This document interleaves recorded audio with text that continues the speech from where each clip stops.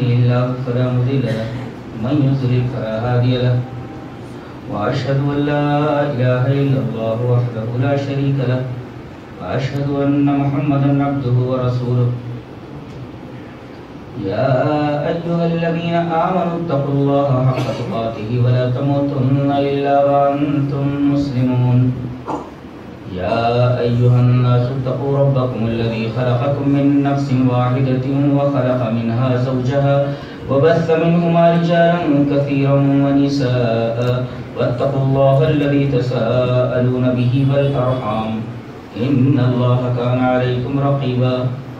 يا أيها الذين آمنوا اتقوا الله وقولوا قولا سديدا. يصلح لكم أعمالكم ويغفر لكم ذنوبكم. ومن يطع الله ورسوله فقد فاز فوزا عظيما.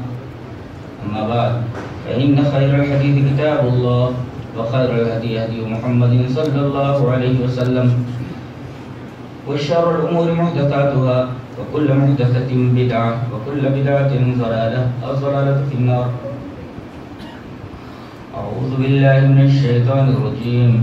بسم الله الرحمن الرحيم.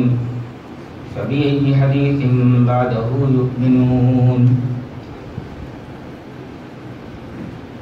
حضرات علماء کرام.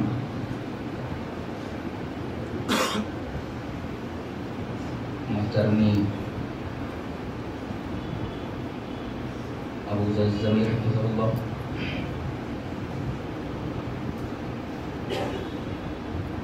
معزز سامعین نوجوان اسلام.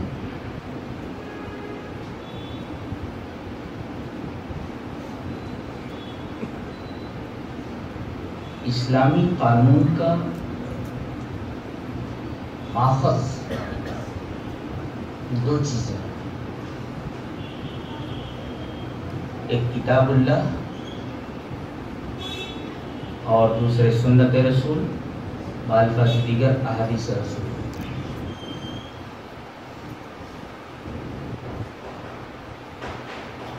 حجت ہونے میں، شریعت ہونے میں، قانون ہونے میں جو درجہ اور جو مقام، جو رتبہ قرآن حکیم کو حاصل ہے۔ نہیں وہی مقام، وہی رتبہ، وہی عظمت، صحیح احادیث کو حاصل ہے۔ بعض لوگ یہ کہتے ہیں کہ کوئی مسئلہ اگر درپیش ہو تو پہلے اسے قرآن میں دیکھا جائے۔ پھر احادیث میں دیکھا جائے۔ غلط ہے۔ یہ دونوں لازم و ملزوم ہیں۔ بیک وقت دونوں میں دیکھا جائے۔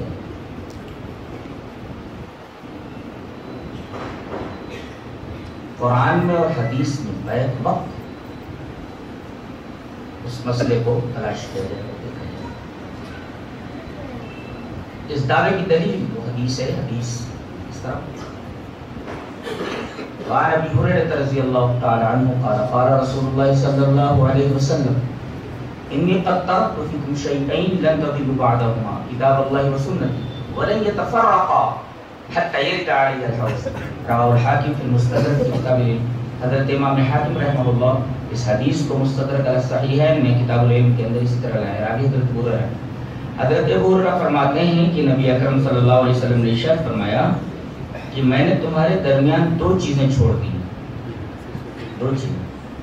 اور یہی دونوں اسلامی قانون کا موقف ہیں اور دونوں حجت مستقل ہیں۔ دونوں مستقل دلیل۔ اور ان دونوں کے بعد تم گمراہ نہیں ہوگی۔ یعنی دیکھیے ہما کی ضمیر لائی گئی، جو تسمیہ پر دلالت کرتی ہے، یہ دو چیز اور ایک لفظ ہے غلالت جس کا اپوزٹ عین ہدایت تو مفہوم مخالف لے لیا جائے کہ لن تزلوا بعدهما، کتاب اور سنت، ان دونوں کے بعد تم ہرگز گمراہ نہیں ہوگے۔ مفہوم مخالف ہمیشہ ہدایت پر رہو ہدایت پر رہو گے۔ گمراہی تمہارے قریب پھٹکے گی بھی نہیں۔ تم گمراہ ہرگز نہیں ہوگے یعنی ہدایت ہی پر رہو گے۔ اگر ان دونوں کو تھامے رہو گے۔ کون سا کیا گیا دونوں چیزیں کون سی ہیں؟ کتاب اللہ سنتی۔ یہی دونوں چیزیں مجھے ملی تھی اور یہی دونوں چیزیں میں تمہارے حوالے کر کے جا رہا ہوں۔ کسی تیسری چیز کی طرف آپ نے اشارہ نہیں کیا، چوتھی چیز کی طرف آپ نے اشارہ نہیں کیا۔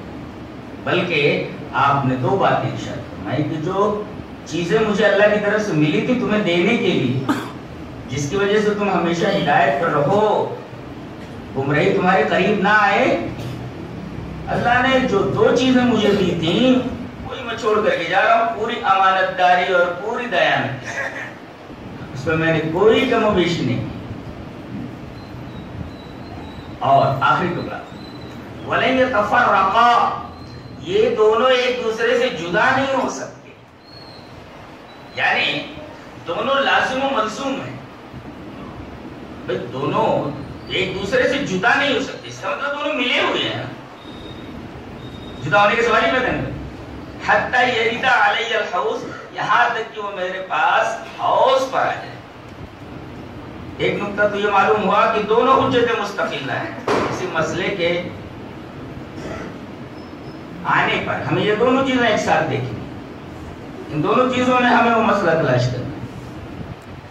پہلا اور بات یہ کہنا صحیح نہیں اور دوسرا ٹکڑا قابل غور ہے کہ یہاں تک کہ وہ دونوں میرے پاس ہاؤس پر آ جائے یا ہاؤس کا حوالہ کیوں دیا؟ کتاب و سنت کا ذکر کیا گیا، اس کے ساتھ ہاؤس کا حوالہ دیا گیا۔ آپ کو معلوم ہے کہ میدان حشر کے اندر گرمی بہت زیادہ ہوتی ہے گرمی جب انتہائی شدید ہو تو آدمی کو دو چیزوں کی ضرورت پڑتی ہے، سائے کی اور دوسرے پانی کی۔ سایہ ایک جگہ ہوگا اور پانی ایک جگہ ہوگا۔ سایہ کہاں ہوگا؟ لا الہ الا اللہ کے پاس۔ اور پانی کہاں ہوگا؟ محمد رسول اللہ کے پاس۔ یہاں۔ رک کر۔ اس بات کو مدلل کر لیتے ہیں اس حدیث سے۔ حدیث حدیث سب وعن ابی حریرہ رضی اللہ تعالی عنہ ان رسول اللہ صلی اللہ علیہ وسلم قال سبعۃ یذلهم الله في ظله يوم لا ظل الا ظله. الامام العادل وشاب نشأ بعبادة الله ورجل قلبه معلق بالمسجد ورجلان تحابا في الله اجتمعا عليه وتفرقا عليه. ورجل دعته امرأة ذات منصب وجمال فقال إني أخاف الله. ورجل تصدق بصدقة فأخفاها حتى لا تعلم الشمال ما تنفق يمينه ورجل ذكر الله خاليا ففاضت عيناه رواه مسلم في كتاب الزكاة. حضرت إمام مسلم رحمہ اللہ مسلم شریف کتاب الزکات کے اندر یہ روایت اسی طرح لائے یہ روایت بھی حضرت ابو ہریرہ سے مروی۔ حضرت ابو ہریرہ فرماتے ہیں کہ نبی اکرم صلی اللہ علیہ وسلم نے ارشاد فرمایا کہ سات آدمیوں کو اللہ کے سائے میں جگہ ملے۔ جب بھی اللہ کے سائے کے علاوہ کوئی سایہ نہ ہو۔ انصاف کرنے والا امام آفیسر خلیفہ حاکم وغیرہ وہ شاپ النشب عبادت اللہ وہ نوجوان جس کی جوانی کا لمحہ لمحہ اللہ کی عبادت میں گزرا ہو۔ میں تمام نوجوانوں سے پوچھنا چاہتا ہوں۔ آپ نے اصحاب کہف کو پڑھا ہے؟ باقاعدہ ان کے نام سے پوری سورہ اتار دی۔ گئی سورہ کہہ کہف اللہ تبارک و تعالی نے تعریف فرمائی۔ انہم فتیتن۔ اس نوجوان تھے آمنو بربہم وزدناہم ہدا وہ اپنے رب پر ایمان لے پورا معاشرہ، پورا سماج، پورا ملک ان کے خلاف۔ اور ایسی صورت میں ان کے لیے جان بچانے کی اجازت شرع شریف کی طرف سے حاصل کی۔ بھاگ نکلے۔ اپنا وطن چھوڑ دیا، اپنا ریار چھوڑ دیا۔ کس لیے؟ صرف اللہ کی اللہ کی محبت اور غار میں پہنچے، اللہ تبارک و تعالی نے انہیں سو تین سو سال تک۔ میں نوجوان سے پوچھنا چاہتا ہوں یہ بھی تو نوجوان تھے انہوں نے اللہ کے لیے سب کچھ تج دیا چھوڑ دیا تیاگ دیا اب ذرا بتائیں کہ چوبیس گھنٹے میں ہم دنیا کو سارا وقت دیتے ہیں اللہ اور اس کے رسول کے لیے آپ کتنا ٹائم دیتے ہیں ذرا چٹھی پر لکھ کر کے میرے حوالے کرتے ہیں دے دیں موبائل کو کتنا وقت دیتے ہیں لیپ ٹاپ کو کتنا وقت دیتے ہیں دنیا کو کتنا وقت دیتے ہیں؟ اللہ اس کے رسول کے لیے آپ کتنا وقت چوبیس گھنٹے کے اندر دیتے ہیں؟ ذرا لکھ کر کے مجھے بتائیے۔ تو وہ شاہ کن النشا بے اللہ، ایسا نوجوان، جوانی کا لمحہ لمحہ اللہ کی عبادت میں گزرا ہو منادی کی جائے گی کہ ایسا نوجوان اللہ کے سائے میں آ جائے۔ ورجل قلب معلق بالمسجد۔ اور وہ آدمی جس کا دل مسجد میں اٹکا ہوا مسجد سے نکلا بھی دل لگا ہوا ہے۔ کہ شاہی دربار کا اعلان ہی اعلان کرے اور میں اللہ کے دربار میں پہنچ گیا دل مسجد میں لٹکا ہوا۔ اس سے مسجد بنانے کی فضیلت بھی ظاہر ہے۔ یہاں رک کر اس حدیث پر بھی رک جائیے۔ ایک اور حدیث سامنے رکھ لیں۔ حدیث حدیث اس طرح وعن ابي هريره رضي الله تعالى عنه قال قال رسول الله صلى الله عليه وسلم، فضلت على الانبياء بست أعطيت جوامع الكريم ونصرت بالرعب. وأحلت لي الغنائم وجعلت لي الأرض طهورا ومسجدا. وأرسلت إلى الخلق كافة وخدم بي النبيون. رواه مسلم في كتاب المساجد. حضرت إمام مسلم رحمه الله. اس حدیث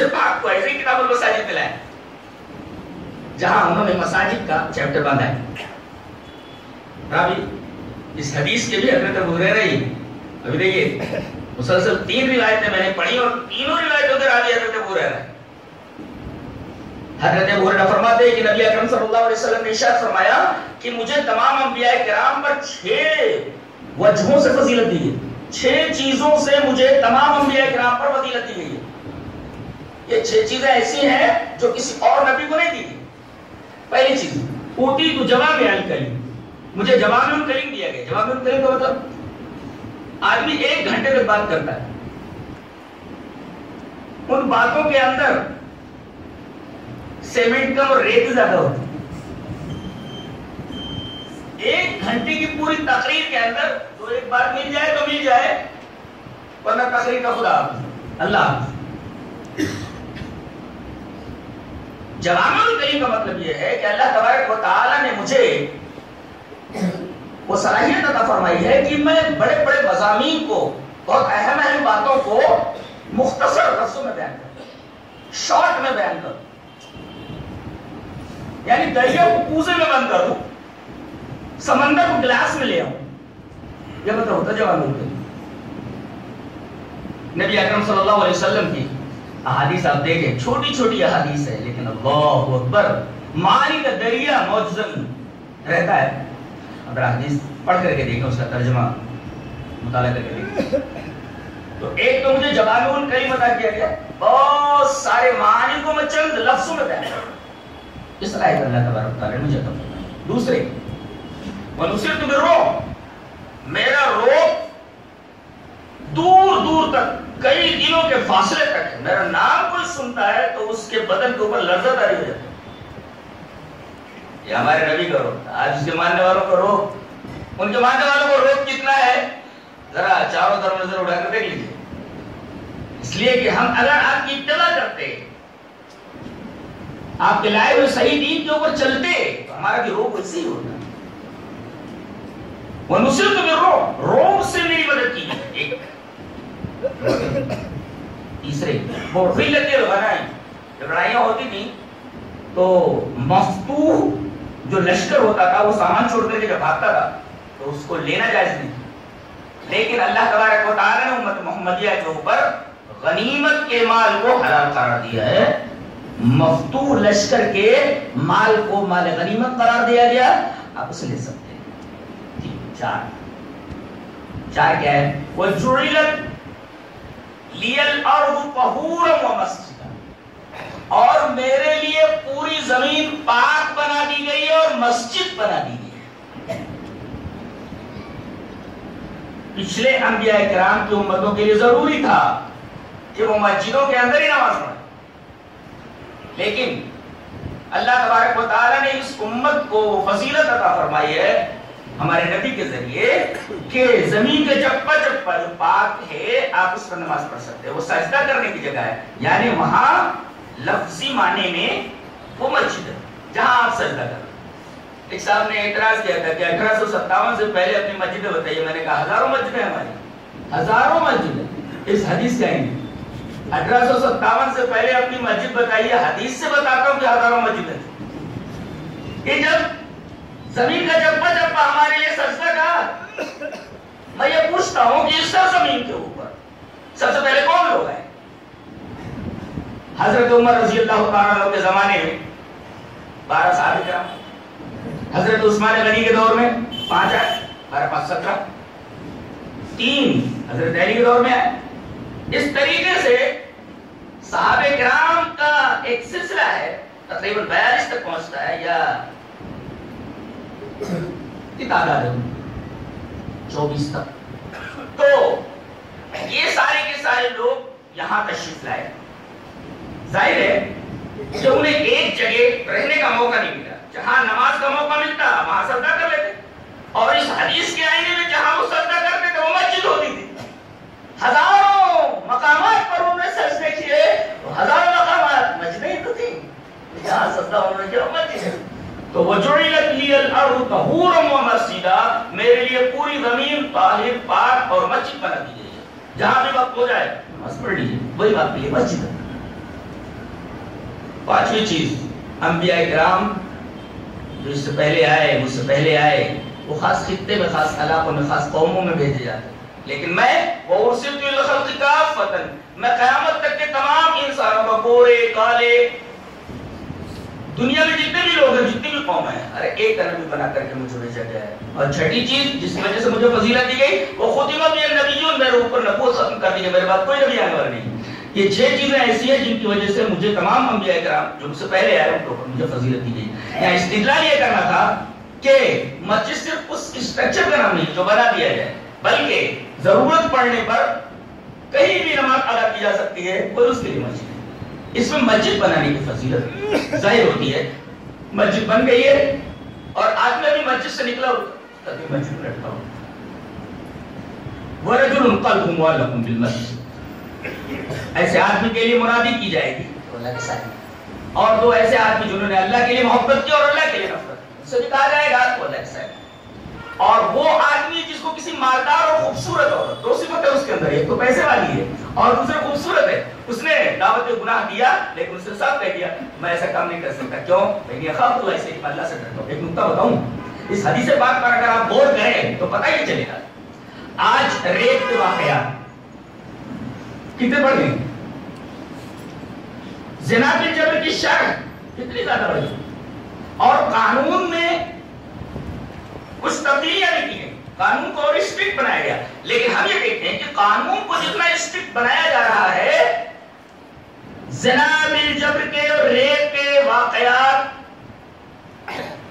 اتنے ہی زیادہ بڑھتے جا رہے ہیں۔ کیوں؟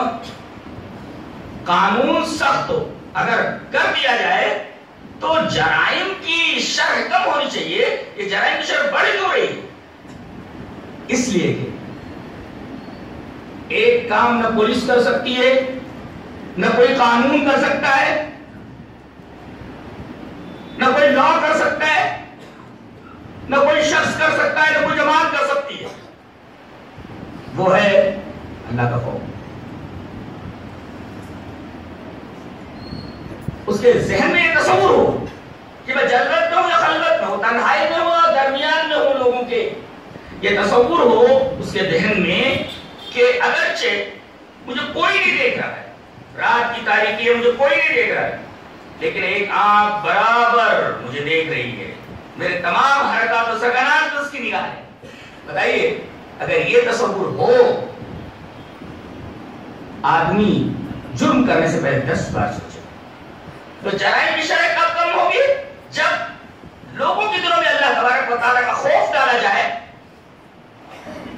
تو یہاں ریپ تو کیا ہے؟ یہ عورت تو باقاعدہ دعوت میں گناہ دے رہی ہزاروں روپے دے رہی ہے۔ لیکن یہ آدمی یہ کہہ کر کے انکار کر دیتا ہے کہ میں یہ زنا نہیں کر سکتا، اس لیے کہ میرے دل میں اللہ تبارک و تعالیٰ کا خوف ہے۔ آج ہم اپنے بچوں کو سب کچھ سکھاتے ہیں۔ مائیں، صبح اٹھ کر کے بچے کو نہلانا، دھلانا، ٹفن تیار کرنا، اسے اسکول تک چھوڑنا پھر بھائی یا باپ یا ماں خود جا کر کے وہاں سے اس کو گھر تک اس کا لانا، یہ تمام محنتیں بچوں کے اوپر کی جا رہی ہیں۔ آج ہمارے بچوں کو ہر قسم کی تعلیم دی جا رہی ہے، لیکن ایک تعلیم سے انہیں بے بہرا رکھا جاتا ہے اور وہ تعلیم ہے اللہ اور اس کے رسول کی محبت اور اللہ تبارک و کا خوف۔ بچوں کے دلوں میں اللہ اور اس کے رسول کی محبت نہیں ڈالی جا رہی۔ بچوں کے دلوں میں اللہ تبارک و تعالیٰ کا خوف نہیں ڈالا جا رہا۔ اسی وجہ سے ہمارے بچے کتنی بھی ڈگری حاصل کر لیں، وہ ایک اچھا ایک پکا مسلمان نہیں بن سکتا وہ کسی سماج کے لیے کارآمد مفید ثابت نہیں ہو سکتے۔ دیش کے لیے کارآمد اور سودمند ثابت نہیں ہو سکتے۔ ہاں اگر ان کے دل میں اللہ تبارک و تعالیٰ کا ڈر ہو، تو وہ سماج کے لیے، سوسائٹی کے لیے، اپنے شہر کے لیے، اپنے ملک کے لیے، اپنے دیش کے لیے سودمند اور مفید اور کارآمد ثابت ہو سکتے۔ کوئی دوسرا بیٹھے ورجل دعت امرأة ذات منصب و جا تعلیم لیکن صلی اللہ علیہ وسلم وہ آدمی جس کو پیسے والی عورت اور خوبصورت عورت پوسٹ والی عورت نے بلایا دعوت گناہ دیا لیکن وہ یہ کہتا ہے کہ میں یہ کام نہیں کر سکتا۔ اس لیے کہ میں اللہ تبارک تعالیٰ سے ڈرتا چھٹی چیز۔ آدمی دس روپے کسی کو دیتا ہے تو دائیں بائیں آگے پیچھے دیکھتا ہے۔ تو لوگ دیکھ رہے ہیں کہ نہیں دیکھ رہے ہیں؟ کہ میں نے پھٹا جوتا دے کر کے آدم دائی کی قبر پلا کھا دی۔ دیکھیں تعریف کریں کہ میں نے اتنا تو نا، غریب آدمی کو دیا تو یہ کہا گیا کہ دینے میں اخلاص ہونا چاہیے۔ اور داہنے ہاتھ سے دے بائیں ہاتھ کو پتہ نہ چلے، اگر اس طریقے سے اس نے دیا ہے، تو چونکہ اس نے اللہ کے لیے دیا ہے۔ لوگوں کو دکھا دکھانے کے لیے ریا کاری کی وجہ سے نہیں۔ اللہ تبارک و تعالیٰ منادی کروائے گا ایسا میرے عرش کے سائے میں آ جائے میرے سائے۔ اور آخری، ورجل ذکر اللہ خالی ففاظت ایسا آدمی جو تنہائی میں ہوا۔ اور اسے مرنے کا وقت یاد آ گیا۔ اسے قبر کے اندر منکر نکیر کے سوالات و جوابات کا سلسلہ یاد آ گیا۔ اللہ کے سامنے کھڑے ہونے کا تصور ہوا۔ میدان حشر کی گرمی کا تصور ہوا۔ نام عمل دائیں ہاتھ میں دیا جائے کہ بائیں ہاتھ میں دیا جائے گا۔ جہنم کا فیصلہ جنت کا فیصلہ ہوگا پل شراب پر سے میرا گزر کس طریقے کا ہوگا؟ ان تمام تصورات کے آنے کے بعد آدمی کی آنکھوں سے آنسو پہ پڑے، اس کے روکتے کھڑے ہو جائے اللہ تبارک و تعالیٰ کے ڈر سے اللہ تبارک و تعالیٰ فرمائے گا کہ ایسا آدمی تنہائی میں مجھے یاد کرنے کے بعد رو پڑا تھا۔ ہم اس کے آنسو کی اتنی قدر کرتے ہیں کہ اسے کہہ دو ہمارے عرش کے سائے میں آ جائے میرے سائے میں آ جائے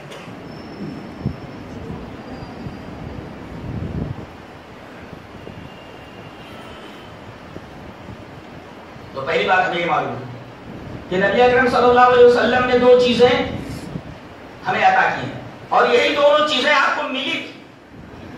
یہ دونوں چیزیں آپ کو ملی تھی۔ تیسری چیز آپ کو ملی ہی نہیں تھی۔ یہی دونوں چیزیں آپ کو ملی تھی دونوں چیزیں آپ چھوڑ کر گئے۔ چھوڑ کر کے گئے، وہ تو صحیح سمجھ مطلب۔ رہا تارا کا میں نے چھوڑ دیا؟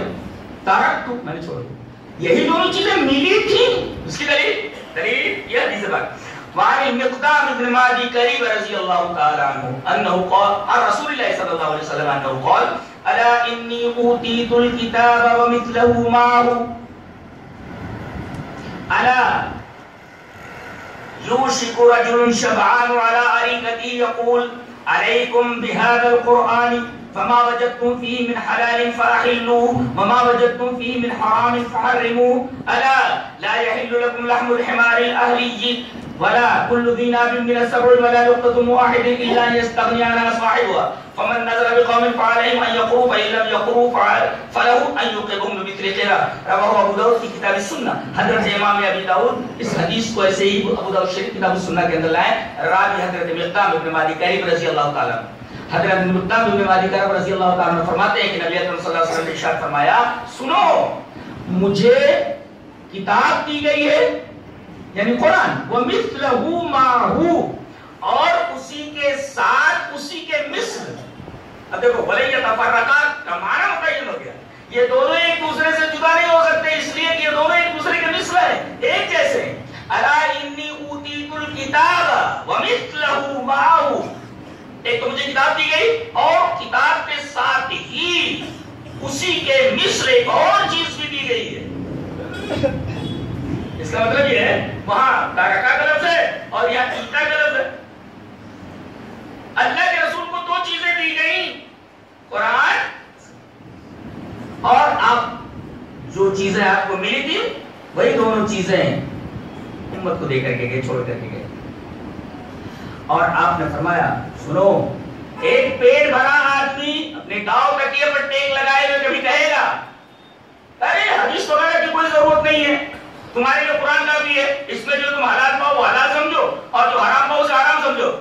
حدیثوں کی ضرورت نہیں۔ آج کتنے لوگ ہیں جو حدیث کا انکار کرتے ہیں کہ ہمیں حدیثوں کی ضرورت ہے، ہمارے لیے قرآن کا ہے میں یہ کہتا ہوں کہ جس طریقے سے، جس طریقے سے قرآن حکیم کو نبی کریم صلی اللہ علیہ وسلم کی سنت کے بغیر نہیں سمجھا جا سکتا، ایسے ہی احادیث نبویہ کو فہم سلف یعنی صحابہ کرام رضوان اللہ تعالی علیہ مجمعین کے فہم کے بغیر نہیں سمجھا جا سکتا۔ یہ سب آپس میں ملے ہوئے انٹر لنکڈ ہیں۔ یعنی قرآن حکیم کو سمجھا جائے گا نبی کریم صلی اللہ علیہ وسلم کی احادیث سے۔ نہیں تو اگر احادیث کو ہٹا دیا جائے تو قرآن بازی چاہت بن جائے گا، بچوں کا کھیل بن جائے گا، آدمی جس طریقے سے چاہے گا، اس سے کھیلے گا۔ اور یہ انکار کرنے والی یہی چاہتے ہیں کہ درمیان سے حدیث کو ہٹا دیا جائے، اس کے بعد ہم منمانی تعبیر کریں اور جو کچھ ہم لوگوں کو بتائیں، وہی قرآن کا مطلب اور مفہوم سمجھا جائے۔ اور اللہ تبارک و تعالیٰ کی مراد سمجھی جائے۔ لیکن احادیث کے آ جانے کے بعد انہیں پابند ہونا پڑے گا کہ قرآن کو بازی چاہے اطفال نہیں بنایا جا سکتا، بچوں کا کھیل نہیں بنایا جا سکتا۔ بلکہ جو مانا رسول نے متعین کیا وہی مطلب لینا پڑے گا۔ آئیے، اس سے پہلے کہ میں اس حدیث کی شرح کروں جو ابھی میں نے پڑھا۔ ایک نقطہ بتا دیتا ہوں۔ اللہ تبارک تعالیٰ نے ارشاد فرمایا، وَأَنزَلْنَا إِلَيْكَ الذِّكْرَ لِتُبَيِّنَ لِلنَّاسِ مَا نُزِّلَ إِلَيْهِمْ وَلَعَلَّهُمْ يَتَفَكَّرُونَ۔ اللہ اکبر، چھوٹا سا جملہ ہے قرآن حکیم کا۔ اور اس کے اندر تین باتیں بتائی۔ اللہ فرماتا ہے کہ میں نے قرآن کو نازل کیا ہم نے قرآن کو نازل کیا یہ ہمارا کام۔ اچھا اب قرآن نازل ہو گیا تو اللہ کا کام تھا تو اللہ نے کیا۔ اب، لِتُبَيِّنَ لِلنَّاسِ مَا نُزِّلَ إِلَيْهِمْ۔ اے ہمارے نبی، آپ جو آپ کے اوپر نازل کی گئی کتاب ہے، آپ اس کی وضاحت کریں۔ یعنی وضاحت آپ کے ذمہ ہے۔ نازل کرنا یہ ہمارے ذمہ اور اس کتاب کی وضاحت کرنا، تبیین کرنا، یہ آپ کے ذمہ وَلَعَلَّهُمْ يَتَفَكَّرُونَ اور اسی تبیین کے دائرے میں رہ کر کے غور و فکر کرنا، یہ امت کے ذمہ ہے۔ یہ امت کی ذمہ داری ہے۔ نبی کریم صلی اللہ علیہ وسلم نے حدیثوں کے سمجھنے کا جو دائرہ بتا دیا ہے، اس دائرے سے باہر آپ جا کر کے حدیث کو نہیں سمجھ سکتے۔ اور اس کے لیے صحابہ کرام رضوان اللہ تعالی علیہ مجمعین کو سامنے رکھ دیا گیا۔ یوں کہتے ہوئے کہ دیکھو ایمان ہمیں جس طریقے کا مطلوب ہے، وہ میرے نبی کے صحابہ جیسا ہونا چاہیے اگر ویسا ایمان لے کر کے آئے ہو تو ہم اس ایمان کو ماننے والے ہیں، تسلیم کرنے والے ہیں۔ اگر میرے نبی کے صحابہ جیسا ایمان لے کر کے تم میرے پاس نہیں آئے ہو، تو ایمان کو دبر نہیں ہوگا۔ اللہ تبارک تعالیٰ نے ارشاد فرمایا، فَإِنْ آمَنُوا بِمِثْلِ مَا آمَنْتُمْ بِهِ فَقَدِ اهْتَدَوْا۔ اگر یہ لوگ اس طرح ایمان لے آئے، جس طرح تم ایمان لائے ہو میرے نبی کے صحابہ فقط ہدایت کیا ہو جاؤ کا مطلب یہ ہوا اس آیت کریمہ میں صحابہ کرام کے ایمان کو ہدایت کا معیار مطلق قرار دیا گیا۔ یعنی کون سا ایمان ہونا چاہیے؟ جیسے میرے نبی کے صحابہ کرام کا ایمان۔ اور وہ جو بات ہے اچھا، ایک بڑا المیہ یہ رہا ہے۔ جب بھی اللہ کی بات، رسول کی بات آنے پر لوگوں نے اس کے اوپر عمل کیا تو معاشرے کی اکثریت نے ایک بڑی تعداد نے ہمیشہ ایسے لوگوں کو احمق سمجھا ہے بے وقوف سمجھا ہے۔ ارے، ترقی کے اس دور میں، ٹیکنالوجی کے اس دور میں آدمی نے چاند پر کمندیں ڈال دی ہیں بڑی بڑی راکٹس بنا لی ہیں، اس کے پاس اتنے اتنے وسائل ہیں زندگی کے۔ معیشت میں، معاش میں زندگی کے ہر شعبے کے اندر اتنی زیادہ ترقیاں حاصل کر لی ہیں، اس دور میں یہ دتیا مصیبت ہے آج سے چودہ سو سال پہلے کا قانون۔ آج سے چودہ سو سال کی پہلی بات ہے۔ تو پہلے کی بات ہے۔ آج سے چودہ سو سال پہلے کی باتیں کرنے والے اس ترقی یافتہ دور کے اندر بے وقوف نہیں دور کیا ہے دیکھیے، الفاظ بدل گئے ہیں، مگر مفہوم نہیں اللہ تبارک تعالیٰ نے ارشاد فرمایا کہ میرے نبی کے صحابہ جب میری نادل کرنے چیز پر ایمان لائے۔ اور میرے نبی کی باتوں پر ایمان لائے۔ جانتے انہیں کیا کہا گیا تھا؟ یہی بات۔ ارے بے وقوف لوگ۔ وَإِذَا قِيلَ لَهُمْ آمِنُوا كَمَا آمَنَ النَّاسُ۔ قَالُوا أَنُؤْمِنُ كَمَا آمَنَ السُّفَهَاءُ أَلَا إِنَّهُمْ هُمُ السُّفَهَاءُ وَلَكِنْ لَا يَعْلَمُونَ۔ اور جب ان سے کہا جاتا ہے کہ ایمان لو جس طریقے سے الناس یعنی صحابہ کرام ایمان لائے، میرے نبی کے صحابہ ایمان لائے کہتے ہیں اس طرح ایمان لائے جیسا احمد لوگ، بے وقوف پھول لوگ۔ یہ بے وقوف پھول ہے۔ آج جو حدیث پر عمل کرے، آج جو قرآن پر عمل کرے، کہتے ہیں، اس ترقی یافتہ دور کے اندر آج سے چودہ سو سال پہلے کی باتوں پر عمل کرنے والے، اس کی باتیں کرنے والے پھول ہے بے وقوف لوگ ہیں۔ یہ باتیں کچھ نہیں نہیں ہے یہ باتیں تو قرآن حکیم میں پہلے سے بیان کر دی گئی ہیں کہ اپنے آپ کو مہذب سمجھنے والے، اپنے آپ کو بہت بڑا سمجھنے والے، اپنے آپ کو صاحب علم سمجھنے والے، اپنے آپ کو اقتدار سمجھنے والے لوگوں نے ہمیشہ ایسے لوگوں کو جنہوں نے اللہ اور اس کے رسول کی باتوں پر عمل کیا، انہوں نے بے وقوف، انہیں کہا اور کس طرح ان کی تصویر کی۔ لیکن اللہ تبارک و تعالیٰ نے جواباً یہ کہہ دیا کہ بے وقوف یہ لوگ نہیں، بے وقوف تم لوگ۔ بے وقوف یہ لوگ نہیں، بے وقوف تم لوگ۔ اس لیے کہ یہ ترقیاں دنیا کی صرف اور صرف ساٹھ سال اور ستر سال تک آدمی اس دنیا سے چلا گیا ساری ترقیاں یہی رہ جاتی کوئی ٹیکنالوجی کوئی ترقی مرنے والے کے ساتھ نہیں جاتی اور مرنے کے بعد جو حقیقی زندگی شروع ہوتی ہے۔ وہ ساٹھ ستر سال کی نہیں ہو تو ابد الآباد کے لیے۔ تو احمق آدمی وہ ہے جو ساٹھ سالہ، ستر سالہ زندگی کو بنانے کے لیے کہہ آپ کیا کر رہے ہیں؟ کیریئر بنا رہے ہیں۔ کس چیز میں کیریئر بنا رہے ہیں۔ بولے، وہ گانے میں کیریئر بنا آپ کیا کر رہے ہیں؟ کیریئر بنا رہے ہیں۔ کیا ڈانس میں کیریئر بنا رہے ہیں۔ چلیے جناب مرنے کے بعد پیر کام نہیں کرتا پیر کام نہیں کر رہے۔ مر گیا آدمی تو زبان خاموش ہو جاتی ہے، آدمی گانا نہیں گا سکتا۔ اب نئے نئے گانے گانے ہیں اس لیے کہ اللہ اور اس کے رسول کی باتوں پر جن لوگوں نے عمل نہیں کیا ہے، اور ان لوگوں نے جن کو بے وقوف کہا ہے، اب جب اصل حقیقت کھل کر کے سامنے آئے گی تو پتا چلے گا، ارے ہم لوگ کیا کر رہے تھے؟ جن لوگوں کو ہم نے بے وقوف سمجھا تھا، اصل میں دنیا کے سب سے عقل مند یہی تھے۔ اور میں یہ کہوں کہ بہتر نہ ہوگا کہ اس روئے زمین کے اوپر صحابہ کرام رسول اللہ تعالیٰ علیہ وسلم انبیاء کے بعد سب سے افضل ترین لوگ ہیں اور ان جیسی ان جیسے لوگوں کے اوپر اور ان جیسی جماعت کے اوپر سورج تو نہیں ہوا، چاند تو نہیں ہوا۔ بڑے ہوشیار ہو ساٹھ، ستر سالہ زندگی کو داؤں پر لگا کر انہوں نے ہمیشہ کی زندگی بنا لی، اس کو ہاتھ سے نہیں جانے دیا۔ تو عقل مند کون؟ اگر کسی آدمی سے کہہ دیا جائے کہ میں نقد دس روپیہ تجھے ملے گا، اور اگر ادھار یعنی آٹھ دس سال کے بعد اگر لے گا، تو ایک کروڑ روپیہ تجھے دوں گا۔ ابھی لے رہا ہے تو دس، اور اگر دس سال کے بعد لے رہا ہے، تو ایک کروڑ روپیہ۔ عقل مند وہی ہے، جو یہ کہے گا دس روپیہ میں کیا کروں گا؟ دس سال بعد مجھے ایک کروڑ دے دینا۔ اللہ اکبر، اللہ تبارک و تعالی نے یہی بات بڑے پیارے انداز میں کہی۔ وہ نو مطلب نقد میں تیرا ادھار یہ بالکل محاورہ غلط ہے، بالکل غلط ہے یہ۔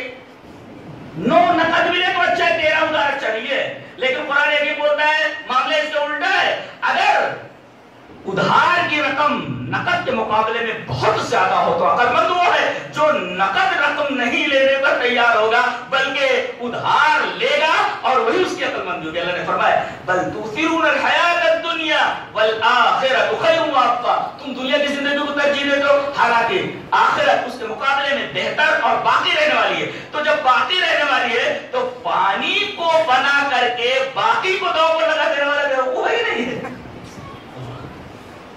تو انہوں نے کیا کیا؟ پانی کو داؤں پر لگا دیا باقی تو ہاتھ سے نہیں جانا تو عقل مند نہیں تھے؟ اللہ تبارک و تعالیٰ نے ان کی عقل مندی کی گواہی دی۔ کہ ان کو بے وقوف کہنے والے لوگ بے وقوف ہیں، یہ بڑے عقل مند ہیں۔ کوئی لا قیل لهم آمنوا كما آمن الناس قالوا ونؤمن كما آمن السفهاء الا انهم السفهاء ولكن لا يعلمون۔ اللہ نے فرمایا، در حقیقت میرے نبی کے صحابہ کو بے وقوف کہنے والے لوگ ہی در حقیقت بے وقوف ہیں۔ کاش تمہیں علم ہوتا انہیں علم نہیں ہے۔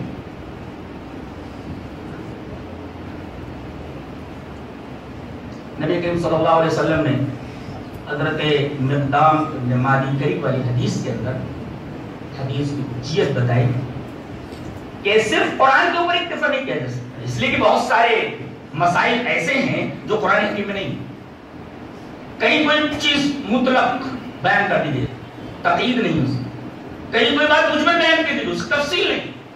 احادیث مجمل کی تفصیل کرتی ہے، اجمال کی تفصیل کرتی ہے، مطلق کی تقید کرتی ہے۔ مثلا ایک سیدھا سا مسئلہ ہے، اللہ نے فرمایا۔ السارق والسارقۃ فقطعوا ایدیہما چور اور چوری کا ہاتھ کاٹ لیا جائے۔ سوال یہ کہ ہاتھ ہو یا انگلی ٹپ آف دا فنگر سے لے کر یہاں تک پہنچے تھے کہاں سے ہاتھ کاٹا مطلق ہے۔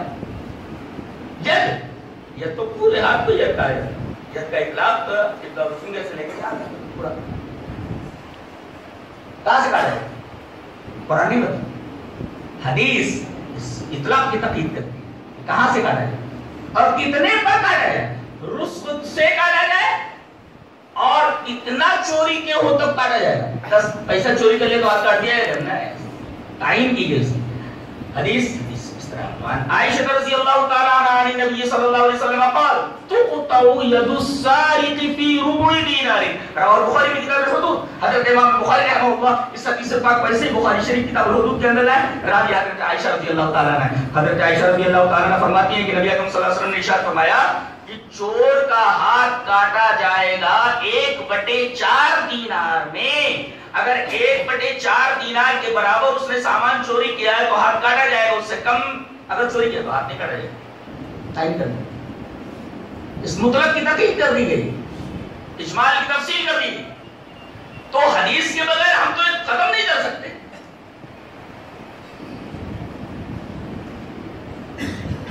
گدے۔ کی علت اور حرمت کے بارے میں قرآن حکیم میں کوئی تفصیل کا کوئی وضاحت موجود نہیں۔ گدے کا کھانا حلال ہے یا حرام؟ نبی کریم صلی اللہ علیہ وسلم کی حدیث نے بتایا کہ گدے دو طریقے کے ہوتے ہیں۔ ایک پالتو گدا ہوتا ہے، ایک جنگلی گدا ہوتا ہے۔ جنگلی گدے کا کھانا گورخر کا، جائز ہے۔ لیکن پالتو جو گدا ہوتا ہے، الحمر الحلی۔ الحمر الحلی الحمار الحلی۔ کا کھانا ناجائز ہے۔ لیکن قرآن میں نہیں۔ آپ نے اس مثال دی۔ الا لا يحل لكم لحم الحمار الاهلي اور سنو پالتو گدے کا گوشت حلال نہیں۔ آپ نے یہ جملہ اس وجہ سے فرمایا کہ قرآن حکیم میں گدے کی علت اور حرمت کے بارے میں کوئی وضاحت نہیں ہے۔ نبی کریم صلی اللہ علیہ وسلم بیان کرنا چاہتے ہیں کہ اگر حدیث کو چھوڑ دو گے تو اگر مسئلہ آ جائے کہ گدے کو کھایا جائے نہ کھایا جائے کیسے کرو؟ اس سے صرف کیا فیصلہ کرو گے؟ حدیث کے بغیر کوئی چارے گاری۔ نہیں لا آپ کو حدیث, حدیث کو تسلیم کرنا پڑے گا اس کی عظمت کو ماننا پڑے گا۔ اس ہمارے بغیر کوئی چارہ ہے ہی نہیں۔ آج تو آپ کو بیٹھے بھی ابو زید زبیر صاحب مل جاتے۔ حدیث بیان کر دے رہے ہیں۔ مسئلے آپ پوچھ رہے ہیں مسئلوں کا جواب دے رہے ہیں۔ لیکن پہلے یہ طریقہ نایاب۔ تھا ارے، ایک حدیث کی تلاش کے لیے آدمی کو کئی کئی دنوں کا سفر کرنا پڑتا ہے۔ آئیے حدیث دیکھتے ہیں۔ اور حدیث کی عظمت اور حدیث کی اہمیت۔ اور موجودہ دور میں ہمیں حدیث کے تعلق سے کتنا سینسٹیو ہونا چاہیے، وہ اس حدیث سے معلوم ہے حدیث حدیث، اس طرح۔ وعن كثير بن قيس قال كنت جالسا مع ابي الدرداء رضي الله تعالى عنه في مسجد دمشق. فجاءه رجل فقال يا أبا الدرداء إني جئتك من مدينة رسول صلى الله عليه وسلم بحديث بلغني أنك تحدثه عن رسول الله صلى الله عليه وسلم. ما جئت لحاجة قال فإني سمعت رسول الله صلى الله عليه وسلم يقول من سلك طريقا يطلب فيه علما سلك الله به طريقا من طرق الجنة. وإن العالم لا يستغفر له من في السماوات وإن الملائكة لتضوا اجنحتها لزل طالب العلم. وإن العالم لا يستغفر له من في السماوات والأرض والحيتان في جوف الماء. وإن فضل العالم على العابد كفضل القمر ليلة البدر على سائر الكواكب.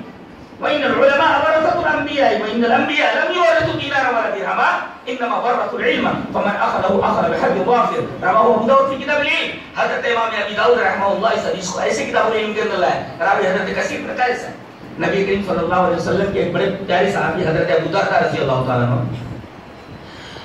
وہ دمشق آئے تھے. وہیں ان کی رہائش تھی، وہیں رہنے لگے. نبی کریم صلی اللہ علیہ وسلم کے دنیا سے تشریف لے جانے کے بعد. وہ دمشق کی جامع مسجد کے اندر بیٹھے کثیر میں قیس بولتے ہیں کہ میں آپ کے پاس بیٹھا ہوں۔ ان کو جاری سے معافی کرتا ہے۔ رضی اللہ میں حضرت ابو دردہ کے پاس بیٹھا ہوا کہاں کہ مسجد دمشق تھا مسجد دمشق کے اندر۔ اذ جاءه رجل۔ ایک آدمی آتا السلام علیکم۔ ہاں جی علیکم السلام تشریف رکھیے۔ کہاں سے آئے؟ کہا کہ اے رسول اللہ صلی اللہ علیہ وسلم کے پیارے صحابی ابو دردہ انی جیتو کا من مدینہ کی رسول صلی اللہ علیہ وسلم۔ میں رسول کے شہر سے آیا، مدینہ سے آ رہا ہوں۔ ارے، مدینہ سے کتنی دور سے؟ کہاں؟ مدینہ کہاں؟ سیریا ہے، کہاں؟ شام ہے۔ نہ ہوائی جہاز ہے، نہ پلین ہے، نہ بسز ہیں، نہ اس طریقے سے ذرائع نقل و حمل ہے۔ یا کیسے آیا ہو؟ یا تو اونٹ سے آیا ہوگا یا گھوڑے سے آیا ہو یا چلتے چلتے آیا ہو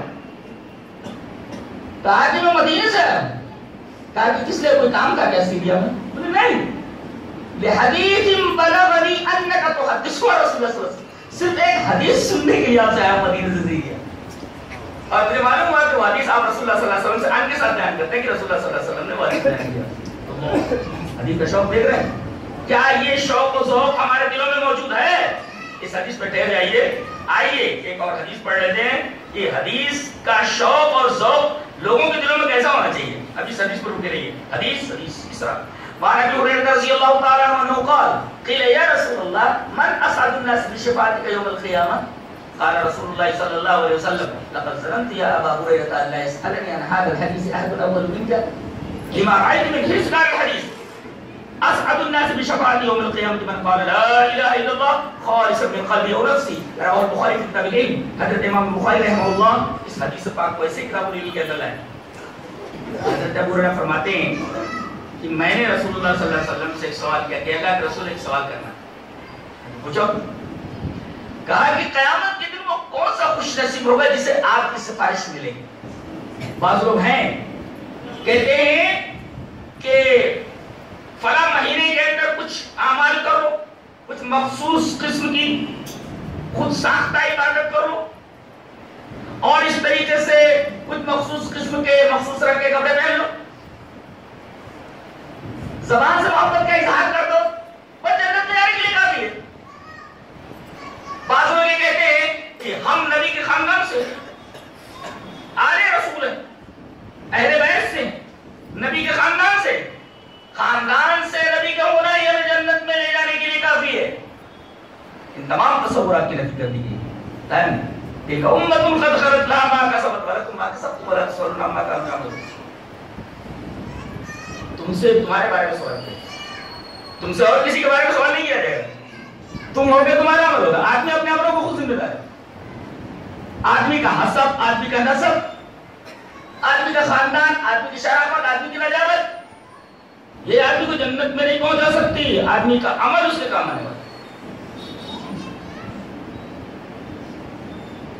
کتنے لوگ ہیں جو یہ تصورات والے بیٹھے کہ چونکہ ہم نبی سے نسبت رکھتے ہیں، نبی کے خاندان سے نسبت رکھتے ہیں، فلاں ولی سے نسبت رکھتے ہیں، فلاں صاحب سے نسبت رکھتے ہیں۔ یہ نسبت ہے، یہ قرابت ہے، یہ نزدیکیاں، یہ تعلقات، یہ ریلیشنز ہمارے کام آئیں گے، اس تصور کی مکمل نفی کر دی سب کچھ بھی ہونے والا نہیں۔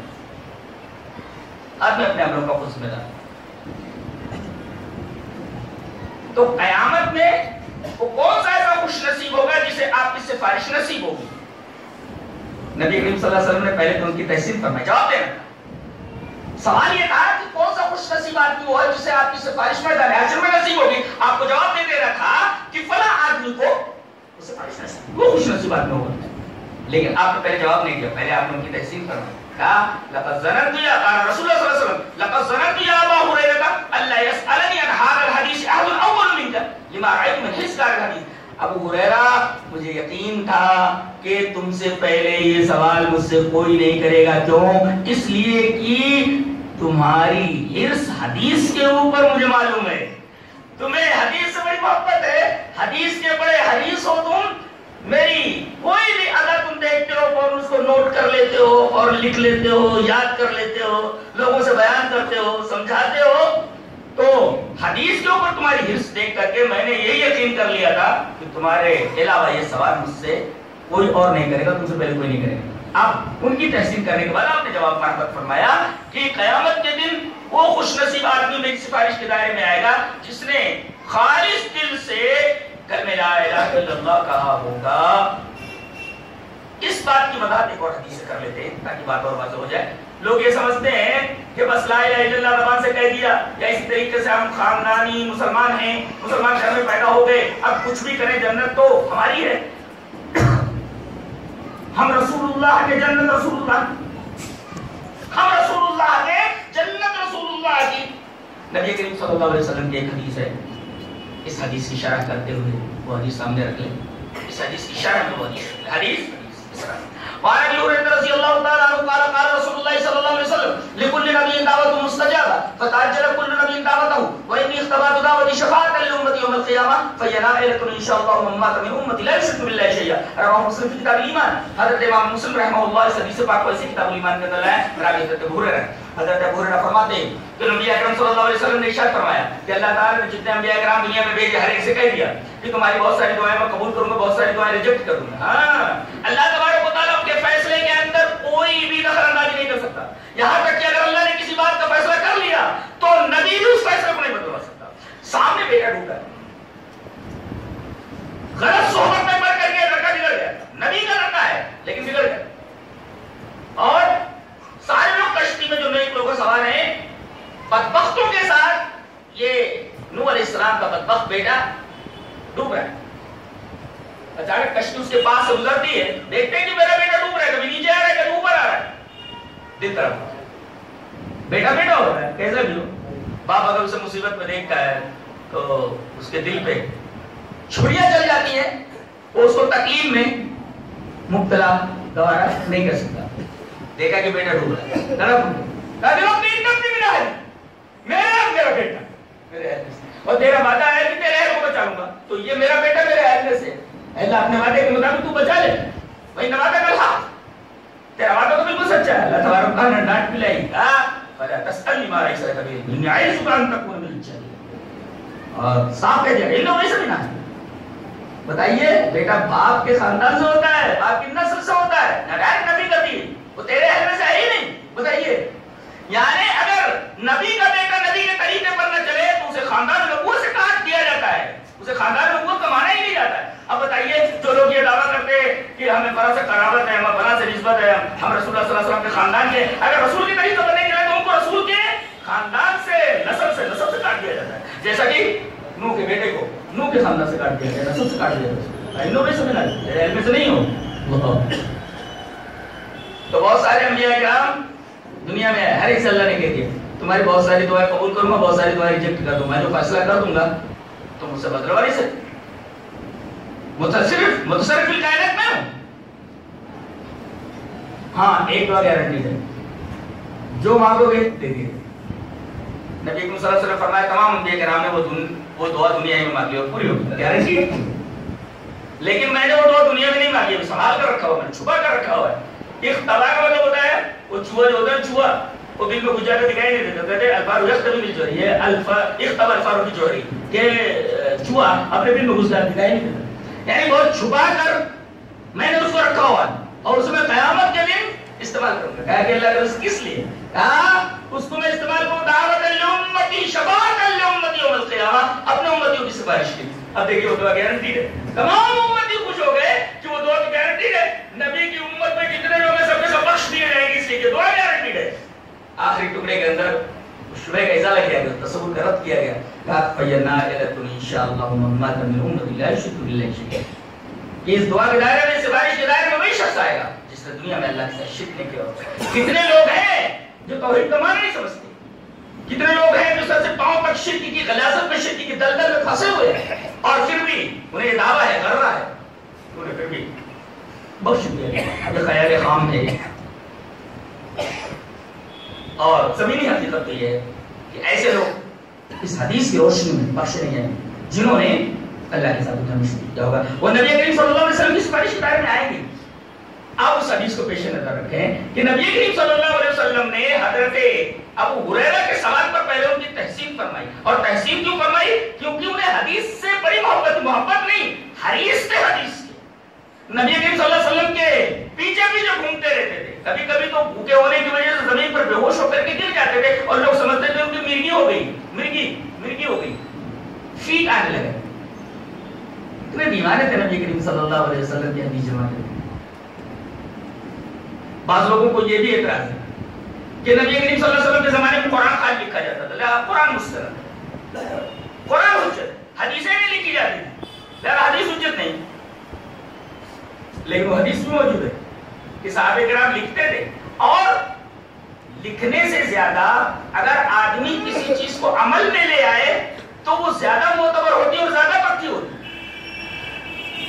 اگر آدمی نماز کے سارے طریقے مزمانی بتانے لگے تو سننے والے کو یاد کرنے میں دقت ہوگی۔ اور اگر آدمی کر کے بتا دے پریکٹیکل کر کے بتا دے پریکٹس کر کے بتا دے تو بہت جلدی اسے ازبر ہو جائے گا۔ تو صحابہ کرام نماز کا طریقہ، نبی کریم صلی اللہ علیہ وسلم جو حدیث بیان کرتے تھے، تمام صحابہ کرام اس کے اوپر عمل کر لیتے تھے۔ تو لکھنے کی ضرورت کیا تھی؟ عمل خود بتا دیتا تھا کہ بھائی، لکھنے سے زیادہ پرفیکٹ تو یہ عمل ہے۔ اس طریقے سے یہ حدیث کن کے عمل میں آ گئی ہے۔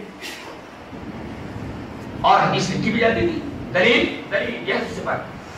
وعن عبد الله بن عمرو رضي الله تعالى عنه قال كنت اكتب كل شيء اسمعه من رسول الله صلى الله عليه وسلم فنهتني قريش وقال اكتب كل شيء تسمعه ورسول الله صلى الله عليه وسلم مبشر يتكلم في الغرب والرجل فامسكت عن الكتاب فذكرت ذلك لرسول الله صلى الله عليه وسلم فاومى باصبعه الى فيه فقال اكتب فوالذي نفسي بيدي ما يخرج منه الا حق رواه ابو داود في كتاب العلم حضرت امام ابی داؤد رحمہ اللہ اس حدیث پاک کو ایسے کتاب العلم کے اندر لائے اس کے اندر ایک بڑا عجیب و غریب نقطہ ہے، وہ پیش نظر رکھیں، پہلے اس حدیث کا ترجمہ دیکھیں۔ حضرت عبداللہ ابن عمر فرماتے ہیں، میں نبی کریم صلی اللہ علیہ وسلم سے جو کچھ سنتا ہوں اسے لکھ لیتا ہوں۔ قریش کے کچھ لوگوں نے منع کیا۔ ارے اب تم کل شہید تسمو ہر چیز جو نبی سے سنتا ہے اسے لکھ لیتا ہے۔ اور رسول اللہ صلی اللہ علیہ وسلم بشر رسول اللہ صلی اللہ علیہ وسلم تو بشر ہے۔ یہ دیکھیے، تمام صحابہ کرام کا عقیدہ بیان کیا جا رہا ہے۔ یہ نبی کریم صلی اللہ علیہ وسلم بشر ہے۔ یہاں ایک قوم جو ماننے کے لیے تیار نہیں۔ بشر مانتی نہیں۔ تین چیزیں ایک مسئلہ کی بنیاد۔ نبی کریم صلی اللہ علیہ وسلم کو غیب کا علم تھا، آپ عالم الغیب ایک۔ دوسرے، آپ حاضر و ناظر ہیں۔ اور تیسرے، آپ نور کے بنے ہوئے بشر میرے منطق کے استاذ نے ایک ہی جملے میں اس پورے عقیدے کا رد کر کہا کہ اگر نبی کے لیے علم غیب مانتے ہو، تو میں نبی کے لیے اگر غیب کا علم مانتے ہو، تو وہی کہیں گا۔ حضرت جبریل آئے ہی نہیں کبھی آپ کے پاس۔ قرآن آپ کے اوپر لوہ محفوظ سے لائے ہی نہیں گئے۔ اس لیے کہ جو غیب کا علم رکھتا ہو، اس کو وہی کی کیا ضرورت وہی تو اس کے اوپر اتاری جاتی ہے جس سے پہلے جانتا ہی نہ ہو۔ اللہ نے فرمایا، تلک من انباء الغیب نوحیہ الیک وہی اس کی کچھ چیز کی ہوتی ہے جس پہلے سے معلوم ہے ما كنت تعلم انت ولا قومك من قبل هذا اس سے پہلے نہ تو آپ کو اس کا علم تھا نہ آپ کے قوم کو اس کا علم تھا تو جو کوئی یہ کہے کہ نبی کو غیب کا علم تھا وہ وہی کا منکر ہے اور جو کوئی یہ کہے کہ نبی کریم صلی اللہ علیہ وسلم حاضر و ناظر و معراج کا منکر ہے اس لیے کہ نبی کریم صلی اللہ علیہ وسلم جو آسمان پر پہنچے پہلے آسمان پر پوچھا گیا کون کہا کہ جبرائیل کہا کہ ساتھ میں کون ہے کہا کہ محمد، کہا کہ بلائے گئے ہیں، یہاں بلائے گئے دروازہ کھول دیا گیا۔ ظاہر ہے کہ اب آسمان کے اندر چلے گئے، اب زمین تو خالی ہو گئی۔ اس لیے کہ آسمان میں داخل ہونے کا مطلب یہ ہو کہ اب آپ زمین پر نہیں ہیں۔ تو حاضر و ناظر ماننے کا مطلب یہ ہے کہ معراج کا انکار، جو کوئی علم غیب مانے آپ کے لیے، وہ وہی کا منکر ہے، اور جو حاضر و ناظر مانے، وہ معراج کا منکر ہے، اور جو کوئی آپ کو بشر نہ مانے، نور مانے، وہ بشریت کا منکر ہے۔ اور اللہ تبارک تعالیٰ نے آپ کو بشر کہا دیکھیں تمام صحابہ کرام کا عقیدہ بیان کیا جا رہا ہے۔ اور رسول اللہ صلی اللہ علیہ وسلم بشر ہے ہر بات لکھ لے رہا ہے۔ نبی کریم صلی اللہ علیہ وسلم بشر ہیں۔ یہ تکلم فی الغضب والرضا کبھی غصے میں بولتے ہیں اور کبھی خوشی میں بولتے ہیں۔ ارے، غصے میں بولتے ہوں گے تو غلط ہو جاتا ہوگا۔ غلط بات لکھ لے رہا ہے۔ یہ حدیث کی عظمت اور نبی کی عظمت دیکھو۔ کبھی غصے میں آپ ہوتے غصے کی بات بھی لکھ لیتا ہے۔ غصے کی بات غلط ہو جاتی ہوگی۔ وہ غلط بات بھی لکھ لیتا ہے۔ کہتے ہیں کہ میں لکھنے سے بات ہے رک گیا لیکن میرے دل میں بات کھٹک رہی تھی کہ میں نبی کے حدیث لکھ رہا تھا کون سا برا کام کر رہا تھا؟ لوگوں نے تو مجھے روک دیا۔ اس خواہش کو آپ نے نبی صلی اللہ علیہ وسلم کے سامنے ظاہر فرمایا کہا کہ اللہ کے رسول میں آپ کی حرکت لکھ لیا کرتا ہوں۔ لیکن وہ قریش کے کچھ لوگ بول رہے ہیں کہ آپ غصے میں ہوتے ہیں۔ اور غصے میں آپ بولیں گے تو غلط ہو جائے گا۔ تو جو میں لکھوں گا وہ غلط ہی ہوگا۔ تو آپ نے اپنے مشت مبارک سے اپنے دہنے مبارک منہ کی طرف اشارہ فرمایا او ما بسبعی لفی اپنے منہ کی طرف اپنے اشارہ فرمایا او حدیث لکھتا ہے فوالذی نفسی بیدی قسم اس ذات کی جس کے ہاتھ میں میری جان ہے ما یخرج منہ الا حق اس زبان سے جو کچھ نکلتا ہے وہ حق نکلتا ہے اللہ اکبر۔ اس کا مطلب یہ ہے کہ نبی کریم صلی اللہ علیہ وسلم کی زبان سے جو کچھ نکلے، قرآن آپ بیان کریں وہ بھی حق ہے، اور قرآن کے علاوہ جو کچھ آپ بیان کریں وہ بھی حق ہے۔ لہذا حق ہونے میں دونوں برابر، قرآن بھی اور حدیث بھی۔ لہذا جب آپ کی زبان مبارک سے قرآن نکلتا وہ بھی حق ہے، اور آپ کی زبان مبارک سے حدیث نکلتی ہے وہ بھی حق ہے، تو حق ہونے میں دونوں برابر، تو حجت مستقلہ ہونے میں بھی دونوں برابر ہے۔ اس حدیث پاک سے حدیث کی حجت مستقلہ اور مستقل ایک تشریح حجت کا بھی اور ایک نکتہ نکتہ یہ ہے، امام ابو داؤد اس حدیث کو کتاب میں ملایا ہے۔ یہ بتانے کے لیے، اصلی چیز حدیث، اصلی علم حدیث کا علم آپ بہت بڑے انجینئر بن جائیے، لیکن آپ اگر شریعت کا علم نہیں جانتے، آپ کو توحید کا علم نہیں ہے، شرک کے بارے میں آپ کو معلومات نہیں ہے، نماز پڑھنے کا طریقہ معلوم ہے، آپ شریعت کی نگاہ میں جائیں گے۔ آپ لوگوں کی نگاہ میں عالم ہیں، مگر شریعت کی نگاہ میں جائیں گے۔ آپ بہت بڑے ڈاکٹر ہیں ایم ڈی ہیں ایم ایس ہیں۔ آپ کچھ بھی ہو سکتے ہیں۔ لیکن اگر آپ کو شریعت کا علم نہیں ہے، یہ حدیث بتا رہی ہے کہ آپ جائے جائیں۔ کتنے بھی بڑے ڈاکٹر آپ ہو جائیں، شریعت کی نگاہ میں آپ جائیں۔ شریعت آپ کو عالم کا سرٹیفکیٹ نہیں دے سکتی، وہ دے گی آپ کو جاہل کا سرٹیفکیٹ دے گی۔ آپ جاہل آدمی آپ کچھ نہیں جانتے۔ امام ابو داؤد اس حدیث پاک کو کتاب العلم میں ملا رہا ہے۔ یہ بتانے کے لیے کہ اصلی علم، حقیقی علم، حدیث کا علم ہے۔ اب جب بتا دیا گیا کہ یہ حق ہے، تو آدمی کہتا کہ بھئی میں حق بات پر جمع رہوں گا میں حق بات سنوں گا، میں حق بات پر عمل کروں گا۔ ارے اللہ کے بندو، جب حدیث حق ہے تو حدیث کو لو، حدیث کو پڑھو، حدیث کے اوپر عمل کرو، حدیث کو پھیلاؤ۔ یہ تمام چیز ہے حق کو آپ نے سنا، حق کو مانا، حق کے اوپر عمل کیا، حق کو پہنچا دیا۔ ما یخرج من اللہ۔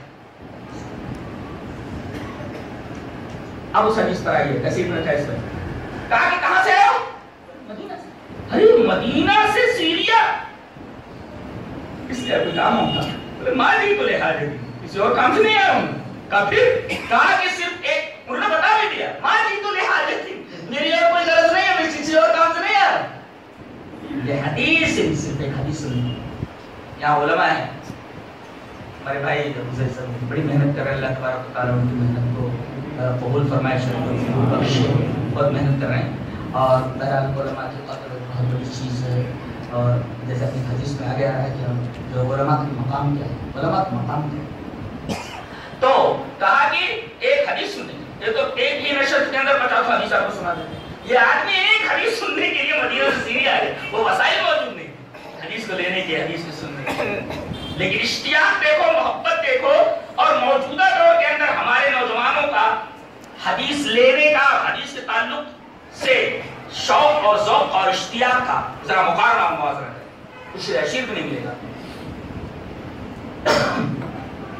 تمہاری تو رہا کسی اور کام سے نہیں آیا؟ کہا کہ پھر کس لیے آیا کہا کہ یہ حدیث نکر ہے، صرف ایک حدیث کے لیے آیا ہوں۔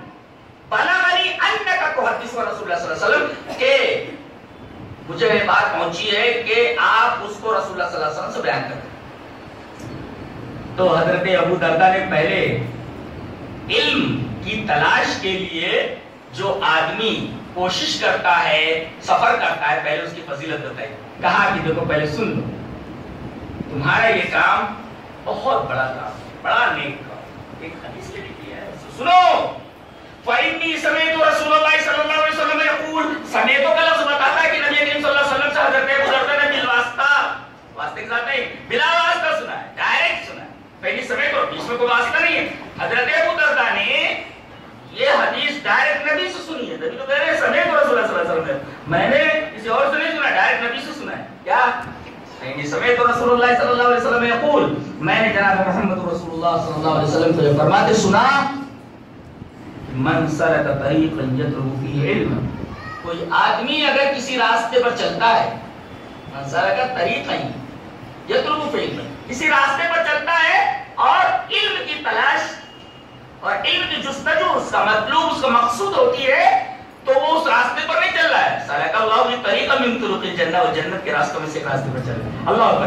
آپ لوگ کتنے لوگ یہاں آئے ہوئے ہو، در حقیقت حدیث سننے کے لیے آئے؟ قرآن سننے کے لیے آئے؟ یہ قرآن کا علم، حدیث کا علم سننے کے لیے آپ آئے آپ خوش ہو جائیے کہ نبی اکرم صلی اللہ علیہ وسلم نے فرمایا، جو آدمی علم کی تلاش میں گھر سے نکلتا ہے تو وہ راستے پر نہیں چل رہا ہے، بلکہ جنت کے راستوں میں سے ایک راستے پر چل رہا ہے۔ آپ سب جنت کے راستے پر چل کر کے آئے اور جائیں گے جنت کے راستے پر جائیں گے۔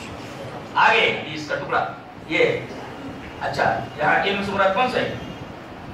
یہاں علم سے مراد حدیث کا علم ہے، قرآن اس لیے کہ حدیث لینے کے لیے آئے ہیں۔ اور اس کے جواب میں یہ حدیث بیان کر رہے ہیں۔ اس کا مطلب اس حدیث اس حدیث پاک میں، حدیث کی عظمت بیان کی گئی ہے۔ اور یہ بتایا گیا کہ ایک آدمی اگر مدینہ سے چل کر کے سیریا آ سکتا صرف ایک حدیث کو سننے کے لیے، اور حضرت ابو دردہ اس کو حدیث سنا رہے ہیں، میرے پاس الفاظ نہیں کہ میں حدیث کی عظمت کو بیان کر سکوں۔ اور اس دور میں ہمارے نوجوانوں کا حدیث کے تعلق سے جو حال ہے اس آدمی کے حال سے اگر موازنہ کریں تو بونے بعید نظر آتا ہے، بہت دوری نظر آتی ہے۔ ان لوگوں کے مقابلے میں حدیث لینے کا حدیث پر عمل کرنے کا، حدیث کو پہنچانے کا اشتیاق زیرو کے برابر بھی ہمارے اندر نہیں۔ ان لوگوں کے مقابلے۔ آگے فرمایا، وَإِنَّ الْمَلَائِكَةَ لَتَضَوْ أَجْنِحَتَهَا رزل لطالب علم اگر کوئی آدمی علم حدیث لینے کے لیے، علم قرآن لینے کے لیے کسی راستے پر چلتا ہے، تو جب تک اس راستے پر چلتا ہے، فرشتے اپنا پر بچھاتے ہیں۔ یہ دوسری وزیرت ایک نوری مخلوق ایک خاکی کے قدموں کے نیچے پر بچھا رہی ہے افضل کون؟ یہ حدیث کا طالب علم کہ فرشتے اس کے قدموں کے نیچے پر بچھا رہے ہیں تیسرے، وَإِنَّ الْعَالِمَ عالم کے لیے زمین اور آسمان کی تمام مخلوقات دعا کرتی ہے استغفار کرتی ہے استغفار کا مطلب اے اللہ، عالم سے اگر یہ گناہ ہو گیا ہے، اللہ اس گناہ کو معاف کر دے۔ عالم نبی تو ہے نہیں، معصوم تو ہے نہیں۔ غلطی ہو جاتی ہے، غلطی ہو جائے تو دعائیں کرتی ہیں مخلوقات آسمان کی اور زمین کی کہ اللہ، عالم سے اگر کوئی غلطی ہو جائے تو معاف کر استغفار جو، یہ تو زمین کے اوپر زمین کے نیچے اور اب پانی کے اندر جو مچھلیاں ہیں والحجاب بھی جو بھی مر، وہ بھی دعا کرتی ہے عالم سے کوئی غلطی ہو جائے تو اللہ معاف کر دینا۔ اس لیے عالم کو پتہ ہے۔ اور وہ بھی عالم بالحدیث کا، عامل بالحدیث کا۔ اور اس عالم بالقرآن کا، عامل بالقرآن۔ یہ مطلب ہے۔ اور آگے فرمایا گیا کہ وَإِنَّ فَضْلَ الْعَالِمِ عَلَى الْعَابِدِ كَفَضْلِ الْقَمَرِ لَيْلَةَ الْبَدْرِ عَلَى سَائِرِ الْكَوَاكِبِ ایک عالم کی فضیلت، ایک عابد کے اوپر۔ ایک آدمی رات بھر عبادت کرتا ہے۔ اور ایک عالم رات بھر کتاب پڑھتا ہے۔ کتاب پڑھتا ہے۔ تو اس کی رات بھر کی عبادت؟ اگر یہ سو بھی جائے تو اس کو اتنی فضیلت حاصل ہے جتنا اس کی عبادت سے فضیلت ملتی ہے، عبادت سے کتنا ثواب ملتا ہے؟ علم کی فضیلت جیسے چاند کی فضیلت تمام کے تمام سیاروں کے اوپر تمام کے تمام ستاروں کے اوپر فضل القمر ليلة البدر على سائر الكواكب تمام وإن العلماء ورثة الانبیاء انبیاء کے وارث علماء ہوتے ہیں۔ اس لیے کہ یہ دیکھو دو طریقے کی میراث ہوتی ہے۔ ایک تو آدمی جب مرتا ہے تو جو جائیداد چھوڑ کر کے جاتا ہے، اس کی تقسیم کس طرح ہوگی؟ جیسے قرآن میں یا حدیث میں؟ اس کے خلاف نہیں ہو سکتا۔ مثلا، اللہ نے لڑکی کا حصہ ایک لڑکے کا اس کے مقابلے میں دو، آپ لڑکی کو دو نہیں دے سکتے۔ ایک ہی دیں۔ اور اگر لڑکی خالی ہو، لڑکا نہ ہو، آدھا فلانس آدھا۔ اور اگر اور لڑکیاں ہو جائے سلوسا مدر تو یہ تو آپ کو معلوم ہے۔ تو یہ ساری چیزیں بیان کر دیں گے۔ اسی طریقے سے آپ کو ورثہ کے درمیان میراث کو تقسیم کرنا اپنی مرضی سے نہیں۔ لڑکے کو آنکھ نہیں کر سکتے میں جائیداد سے آنکھ کرتا ہوں کا حق ہے۔ لڑکیوں کی جائیداد اللہ تبارک و تعالیٰ نے ترکے میں مستقل رکھی ہے، میراث رکھی ہے۔ للرجال نصیب مما ترک الوالدان والاقربون وللنساء نصیب مما ترک الوالدان والاقربون آج لڑکیوں کو کیا حصہ دیا جاتا ہے بڑے بڑے سیٹ ہیں بڑے بڑے لوگ ہیں بس باپ کے مرنے کے بعد جتنے بھائی ہوتے ہیں وہ سانپ بن کر کے باپ کی جائیداد کے اوپر بیٹھ جاتے ہیں بیٹیوں کو کچھ دے دیتے بہنوں کو کچھ دے دیتے نہیں نہیں نہیں اسی طریقے سے تقسیم ہوگی جس طریقے سے قرآن نے بتایا ہے حدیث میں بتایا گیا آپ اپنی مرضی سے تھوڑا بہت میراث کی صحیح تقسیم نہیں ہے۔ اچھا تو یہ تقسیم جو آدمی میراث کی کرے گا کسی آدمی کے مرنے کے بعد تو قرآن حدیث کے مطابق کرے گا اور اس کو ایک خاص حصہ ملے گا۔ لیکن ایک میراث ایسی ہے جو نبی کی میراث ہوتی ہے۔ نبی جب اس دنیا سے جاتا ہے تو پیسے اور جائیداد چھوڑ کر کے نہیں جاتا کہ اس کی تقسیم قرآن حدیث کے مطابق ہو۔ وہ علم چھوڑ کر کے جاتا ہے اور اس میں قرآن اور حدیث کے مطابق تقسیم نہیں ہوتی، بلکہ اس میں جو پڑھ کر کے جتنا لے لے، آگے بڑھ کر کے جتنا اٹھا لے وہ اس کا ہو جاتا ہے اس کے لیے کوئی قاعدہ نہیں ہے کوئی ضابطہ نہیں ہے اللہ کے رسول صلی اللہ علیہ وسلم نے ارشاد فرمایا، وَإِنَ الْأَنْبِيَا لَمْ يُوَرِّثُوا دِينَارًا وَلَا دِرْهَمًا انبیاء کرام، یہ دینار اور درہم جائیداد یہ وراثت میں چھوڑ کر نہیں جاتے، انما ورثوا العلم، علم کا وارث بنا فمن اخذه اخذ بحق واضح جو آگے بڑھ کر کے جتنا لے لے وہ اس کا ہو گیا یہاں تقسیم قرآن حدیث کے مطابق نہیں ہوگی یہاں جو جتنا لینا چاہے لے لے یہ عجیب و غریب قسم کا ورثہ ہے یہ یہ عجیب و غریب قسم کی وراثت ہے اور عجیب و غریب قسم کے یہ ورثہ ہیں کہ جتنا لے لے ان کا ہو جاتا ہے اس میں کوئی قاعدہ کوئی ضابطہ کوئی قانون کوئی لا نہیں چلتا ہے یہ عجیب و غریب میراث علم کی میراث ہے تو علم کو مال کے اوپر فضیل کہا معلوم ہوگی مال خاص قاعدے سے ایک خاص طریقے سے تقسیم کیا جاتا ہے۔ لیکن علم کی جو میراث انبیاء کی میراث ہے، اس کے لیے کوئی قاعدہ اور کوئی ضابطہ نہیں۔ ظاہر ہے کہ علم شرعی کو مال کے اوپر اس حدیث کا کچھ تفصیل بیان کہ علم شرعی کو مال کے اوپر کتنا کتنی فضیلت حاصل ہے؟ ہمارے بڑے سے بڑے مسئلے۔ آ جاتے ہیں، ہم یہاں جاتے ہیں، وہاں جاتے ہیں۔ ان کے پاس جاتے ہیں، ان کے پاس جاتے ہیں، مسئلے حل کرانے کے لیے۔ ہم یہ دیکھتے ہیں کہ صحابہ کرام رضوان اللہ تعالی علیہ وسلم بڑے سے بڑا مسئلہ، حدیث کی روشنی میں حل کر اب دیکھیے نبی کریم صلی اللہ علیہ وسلم کا انتقال ہو گیا۔ ابھی آپ کی لاش مبارک رکھی ہوئی ہے تسلیم بھی نہیں ہوئی۔ اس سے پہلے خلیفہ بن جانا چاہیے۔ تدفین سے پہلے خلیفہ کا تقرر ہو جانا چاہیے، تعین ہو جانا چاہیے۔ سو کہتے بنی ساحلہ کے اندر میٹنگ چل رہی ہے؟ انصار ہیں، مہاجرین ہیں، سارے کے سارے بیٹھے ہوئے اتنے میں حضرت عمر آتے چلیے وہ حدیث دیکھ لیتے پہلے حدیث حدیث اس طرح وعن عبد الله بن مسعود رضي الله تعالى عنه قال، لما قبل رسول الله صلى الله عليه وسلم قالت الانصار، منا امير ومنكم امين فجاءهم عمر فقال ألستم تعلمون أن رسول الله صلى الله عليه وسلم قد أمر أبا بكر أن يتقدم أن يصلي بالناس، فأيكم تطيب نفس من يتقدم أبا بكر فقالوا نعوذ بالله ان نتقدم ابا بکر رواه النسائی کی کتاب الامامہ حضرت امام نسائی رحمہ اللہ، اس حدیث پاک کو نسائی شریف کتاب الامامہ کے اندر اسی طرح ہے راوی حضرت عبداللہ بن مسعود. حضرت عبداللہ بن مسعود فرماتے ہیں کہ نبی کریم صلی اللہ علیہ وسلم کی تدفین میں انتقال ہو گیا اور سقیف بنی سائدہ کے اندر خلافت کا مسئلہ درپیش ہے. اور مسئلے نے ایک انتہائی سینسٹیو اور سیریس شک اختیار کر لیا. مسئلہ حل نہیں ہوا. حضرت عمر علیہ آتے بجاؤ آپ نے پوچھا بھائی مسئلہ ہوا بولے ہاں مسئلہ ہو گیا کہا کہ کیا کہا کہ ایک امیر انصار نے کہا اور ایک امیر مہاجرین نے کہا قالت الانصار منا امیر ومنكم امیر مہاجرین میں کا ایک امیر اور انصار میں کا ایک امیر مسئلہ ہو گیا حضرت عمر نے کہا امیر ایک ہوتا ہے مسئلہ سلجھا نہیں مسئلہ اور الجھ گیا ہے امیر ایک ہونا چاہیے کہا کہ حضرت آپ کوئی مشورہ دیجیے کہا کہ ایک بات بولوں جو مسئلہ تم لوگ اب تک نہیں سلجھا سکے ہو میں ایک بات بولتا ہوں۔ کہیے، کہا یہ بتاؤ، نبی کریم صلی اللہ علیہ وسلم جب بیمار ہوئے اور مسجد میں مسلح پر آنے کے قابل نہ تھے، بیماری نے اتنا آپ کو لاغر کر دیا تھا، اتنا کمزور نہیں کو بنا دیا تھا۔ تو اپنی جگہ پر نماز پڑھانے کے لیے کس کو کھڑا کیا؟ کہا جی، ابو بکر۔ قد امر ابو بکر ان یصلی بالناس۔ ابو بکر کو حکم دیا کہ وہ لوگوں کو نماز پڑھائیں کہا کہ نبی نے اپنی زندگی میں جس آدمی کو دین کا امام بنا دیا، دین کے بارے میں امام بنا دیا، تو کیا اشارہ اس بات کی طرف نہیں ہے کہ ہم دنیا کے بارے میں اسی کو امام بنائیں؟ استدلال ہے۔ اور کون جسے نبی نے اپنی زندگی میں دین کے معاملے میں نماز جیسی سب سے بڑی عبادت کے لیے آگے بڑھا دیا اور مسلمانوں کا امام بنا دیا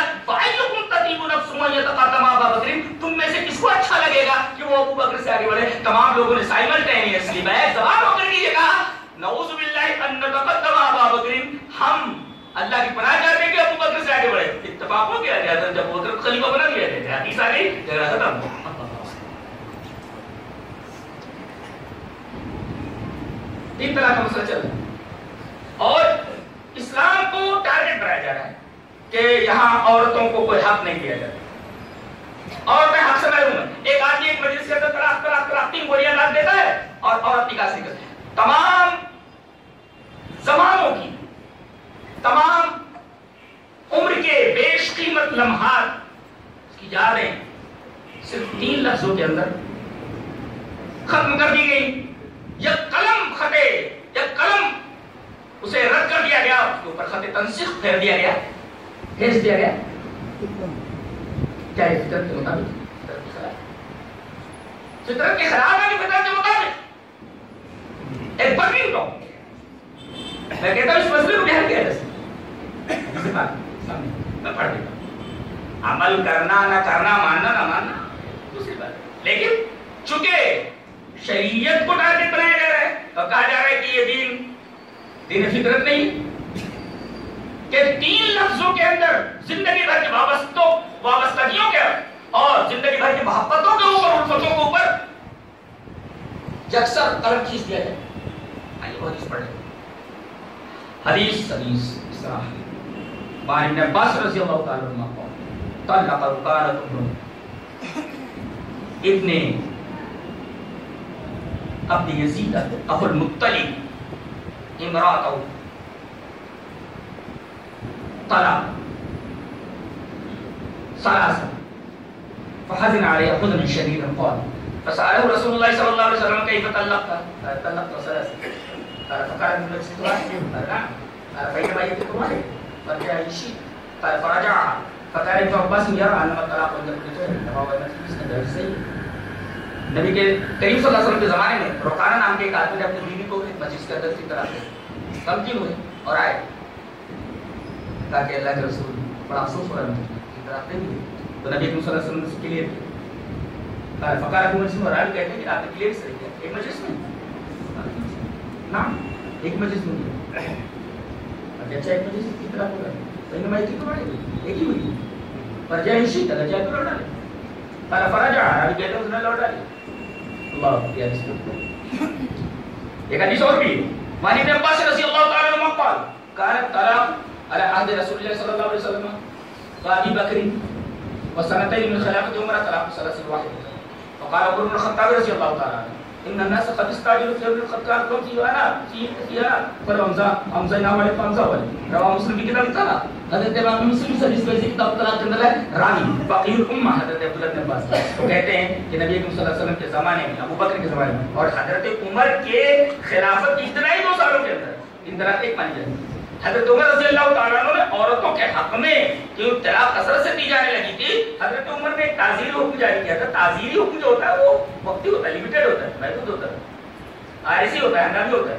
ابدی نہیں ہوتا اور نبی کریم صلی اللہ علیہ وسلم کے قول اور فعل کو صحابی کا عمل اس کا قول کا منسوخ کر سکتا ہے اس کا ناسک بن سکتا ہے ہوتا ہی ہوتا ہی مسئلہ کے تحت کچھ دنوں تک انہوں نے چلا لی اس وجہ سے صحابہ کرام خاموش تھے۔ تو اگر کوئی مسئلہ در پیش آئے کتنا بھی بڑا برننگ ٹاپک ہو، اسے حدیث کی روشنی میں حل کیا جائے اور حل ہو جاتا ہے۔ اس لیے کہ نبی کریم صلی اللہ علیہ وسلم نے ہمیں کسی شعبے میں تیار و مددگار نہیں چھوڑا۔ ہے زندگی کے تمام مسائل کے اندر ہماری رہنمائی فرمائی ہے۔ کوئی مسئلہ ایسا زندگی کا نہیں ہے جس کے اندر آپ نے ہماری رہنمائی فرمائی ہے۔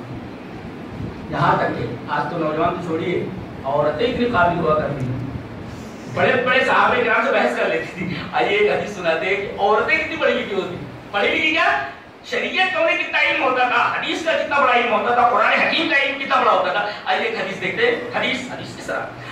وعن عبد الله بن مسعود رضي الله تعالى عنه قال لعن الله الواشمات والمتشمات والمتنمصات والمتفلجات للحسن المغيرات خلق الله فبلغ ذلك امرأة من بني الأسد يقال له أم يعقوب فجاءت فقالت أنه إنه بلغني أنك لعنت كيدا وكيدا فقال وما لي لا ألعن من لعن رسول الله صلى الله عليه وسلم.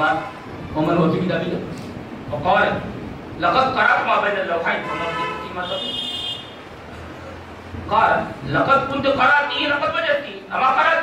وما آتاكم الرسول فخذوه ما نهاكم عنه قال قال بلى. قال فإنه قد نهى عنه. قال فإني أرى أهلك يفعلونه. قال فلم يفندني فذهبت فنظرت فلم ترى من حاجتي شيئا. وقال لو كانت كذلك ما جعلتها؟ رواه البخاري في كتاب التفسير حضرت امام البخاری رحمہ اللہ اس پوری حدیث کو جو اس صفحے کی ہے کتاب تفسیر کے اندر بخاری شریف میں کتاب حضرت عبداللہ بن مسعود. ہے حضرت عبداللہ بن مسعود فرماتے ہیں کہ آپ نے فرمایا، اللہ نے لعنت کی ہے گودنا گودنے والی عورت گودنا گودوانے والی عورت. اور اسی طرح دانتوں کے درمیان حسن کے لیے شگاف اور فاصلہ کرنے والی عورت. اسی طریقے سے اللہ کی تخلیق کو بدلنے والی اور اللہ کی تخلیق کو بدلنے کا مطلب کئی ہو سکتا ہے؟ اب آج کل تو جنس کی تبدیل کی جا رہی ہے نا۔ لڑکیاں لڑکا بن رہی ہیں۔ لڑکے لڑکیاں بن رہے ہیں۔ یہ تغیر سب چل رہا ہے۔ اسی طریقے سے لڑکے لڑکیوں کے لباس پہن رہے ہیں اور لڑکیاں لڑکوں کا لباس پہن رہی ہیں۔ آپ دیکھیں گے تو حیرت زدہ ہو جائیں گے کہ لڑکا اوپر سے نیچے تک لباس مکمل پہنے ہوئے۔ کا ہاتھ ڈھکا ہوا ہے اس کا پورا بدن ڈھکا ہوا ہے، پیر ڈھکا ہوا ہے، ساری چیزیں۔ اور عورت کے بدن پر بس بنائے نام ایک ہی بات ہے، عجیب بات۔ اور کہتے ہیں کہ ہم نے عورتوں کو وہ مقام دیا ہے جو مقام اسلام نے دیا ہی نہیں ہے۔ بتائیے، صابن ہوتا ہے، صابن جس آدمی نہاتا ہے۔ اس پر ایک نیم اڑیاں اد ننگی عورت کی تصویر ہوتی ہے۔ اس عورت کو صابن سے کیا ڈالنا اسے نہانا ہے۔ لیکن عورت کی تصویر ہے۔ اور عورتیں خوش ہے۔ ہاں کیا بات؟ ہمیں آزادی دی جا رہی اتنی بڑی ترقی ہمیں دی جا رہی اللہ بتائیے، صابن کے اوپر ایک عورت کی تصویر کا اس صابن سے جسے نہایا جاتا ہے، کیا تعلق یہ ترقی کے نام پر سب کچھ کیا جائے اور یہ عورتوں کے حق میں نہیں ہے، بلکہ یہ عورتوں کے خلاف خوفناک قسم کی سازش۔ سو کا سمجھ نہیں پا رہی یہ فرما رہی ہیں۔ آ کر کے، کہ یہ تو آپ نے فتوا دیا ہے۔ ایک عورت ہیں، ام یعقوب قبیل بنو اسد۔ انہوں نے یہ فتوا سنا کہ عبداللہ بن مسعود لعنت کرتے ہیں۔ گودنا گودوانے والی عورت گودنے والی عورت اور تغیر خلقی اللہ کرنے والی تو وغیرہ۔ آئیں۔ کہا کہ عبداللہ بن مسعود سنا ہے، آپ ایسا ایسا فتوا دے رہے ہیں عورتوں کے بارے میں۔ بلغنی انک لعنت کیت و کیت ایسا ایسا آپ نے عورتوں کو اوپر لعنت کی ہے؟ تو حضرت عبداللہ بن مسعود نے کہا، میرے پاس دلیل ہے۔ کہا کہ کیا؟ قرآن میں اور حدیث میں۔ ومالی لا علم من رسول اللہ صلی اللہ علیہ وسلم۔ رسول اللہ صلی اللہ علیہ وسلم نے لعنت کی اور کتاب میں، کتاب اللہ میں۔ ہاں حدیث کا حوالہ قرآن اس سے نقطہ یہ ملتا ہے کہ کوئی بھی مسئلہ پیش آئے تو قرآن اور حدیث کی دلیل جب تک نہ پیش کی جائے تب تک اس مسئلے کو تسلیم نہ کیا جائے اس کو پر عمل نہیں کیا جائے انہوں نے فرق کہا ارے میں کیوں لعنت نہ کروں اس لیے کہ جس پر اللہ اور اس کے رسول نے لعنت کی اور کتاب اللہ میں۔ آپ یہ عورت بولیں۔ آپ بات کرتے ہو؟ لقد قرأت ما بين اللوحين پوری کتاب پڑھ گئی ہوں، پورا قرآن پڑھ گئی ہوں۔ فما وجدت فيما تقول۔ جو تم بول رہے ہو وہ کہیں نہیں ہے پورے قرآن میں۔ واہ ایک مسئلے کو تلاش کرنے کے لیے عورت پوری کتاب اللہ پڑھ گئی کیا ہماری عورتیں، ان کو تو فیشن سے فرصت نہیں ہے۔ ان کو تو عیش آرام سے فرصت نہیں ہے۔ ان کو شاپنگ سے فرصت نہیں ہے۔ یہودہ نے ایک مسئلہ دیکھ رہے پورے قرآن حکیم کو مطالعہ کر کے۔ اور حضرت عبداللہ بن مسعود جو تھا اور انتہائی سی علم مرد سے بحث کر رہی ہے۔ کہہ رہی ہے، لقد قرات ما بین اللوحین۔ میں نے دو دفتروں کے درمیان پورا قرآن مطالعہ کر لیا۔ فما بچے تم فی مدخول میں نہیں پا رہی ہوں جو تم بول رہے ہو۔ وہ مسئلہ ہے نہیں قرآن۔ قرآن کا عمل تو قرآن میں ہے نہیں۔ بتائیے۔ عبداللہ بن مسعود سے بحث کر رہا کسی عورت ساتھ۔ اچھی بات۔ ہمارے گھر کی عورتوں، ماؤں اور بہنوں کے لیے عبرت ہیں۔ حضرتوں میں آپ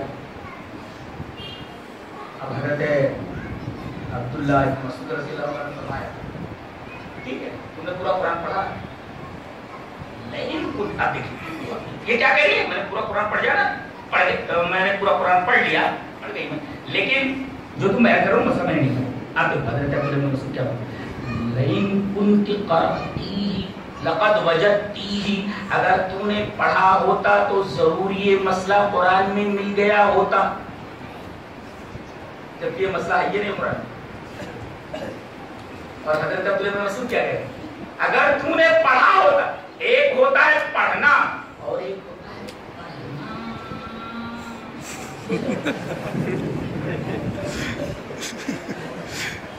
تو نے پڑھا ہے۔ غور سے پڑھو۔ تم تو پڑھے نہیں سرسری طور سے۔ لیکن اگر تم نے سرسری طور پر غور سے پڑھا ہوتا یہاں کہہ رہا ہے غور سے پڑھا ہوتا، تو تمہیں وہ مسئلہ مل گیا۔ کہنے لگی کیا؟ کہا کہ تم نے کیا سورہ حشر کی آیت نہیں پڑھی؟ ما آتاکم الرسول فخذوه وما نهاكم عنه رسول جو تمہیں دے دے، اسے لے لو۔ جس چیز سے منع کر اسے رک جاؤ ہاں یہ تو ہے۔ کہا کہ تو اللہ کے رسول نے لعنت کی ہے، لہذا قرآن میں ہے نا وہ۔ استدلال ہے حضرت عبداللہ بن مسعود کا یہ باریک نگاہ ہے اور باریک نظر ہے۔ اس کا مطلب جو حدیث سند کے ساتھ صحیح ثابت ہو جائے، سمجھو، اس کا مرتبہ کلام اللہ کے برابر ہے اور بالکل حجت مستقل ہے قرآن کی یہ حدیث مان اب عورت بھی کیا؟ جو مزید بحث نہ کرے۔ لیکن آپ کے اہل میں، آپ کے گھر میں یہ ضرور بات ہے، موجود ہے۔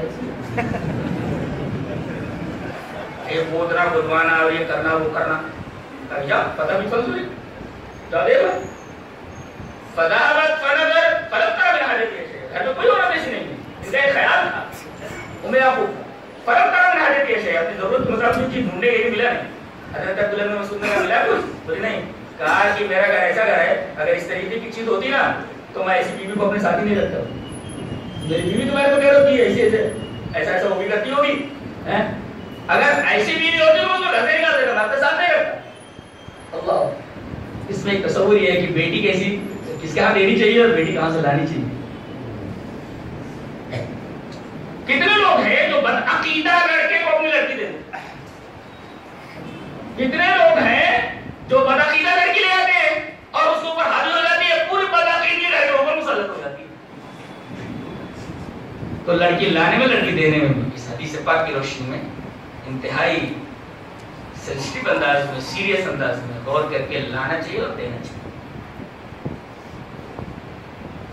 نبی کریم صلی اللہ علیہ وسلم نے حدیث کی عظمت کے بارے میں بڑی پیاری بات کہی ہے، بڑی پیاری حدیث ہے، جو حدیث پڑھ لیتے ہیں۔ حدیث وعن زيد بن ثابت رضي الله تعالى عنه قال، سمعت رسول الله صلى الله عليه وسلم يقول نزل الله جبران سمع منا حديثا فحفظه حتى يبلغه. فرب حامل فقه الى من هو افقه منه ورب حامل فقه ليس بفقيه. رواه ابو داود في كتاب العلم حضرت امام ابي داود رحمه الله اس حدیث سے پاک سے کتاب العلم کے اندر لائے راوی حضرت زید بن ثابت.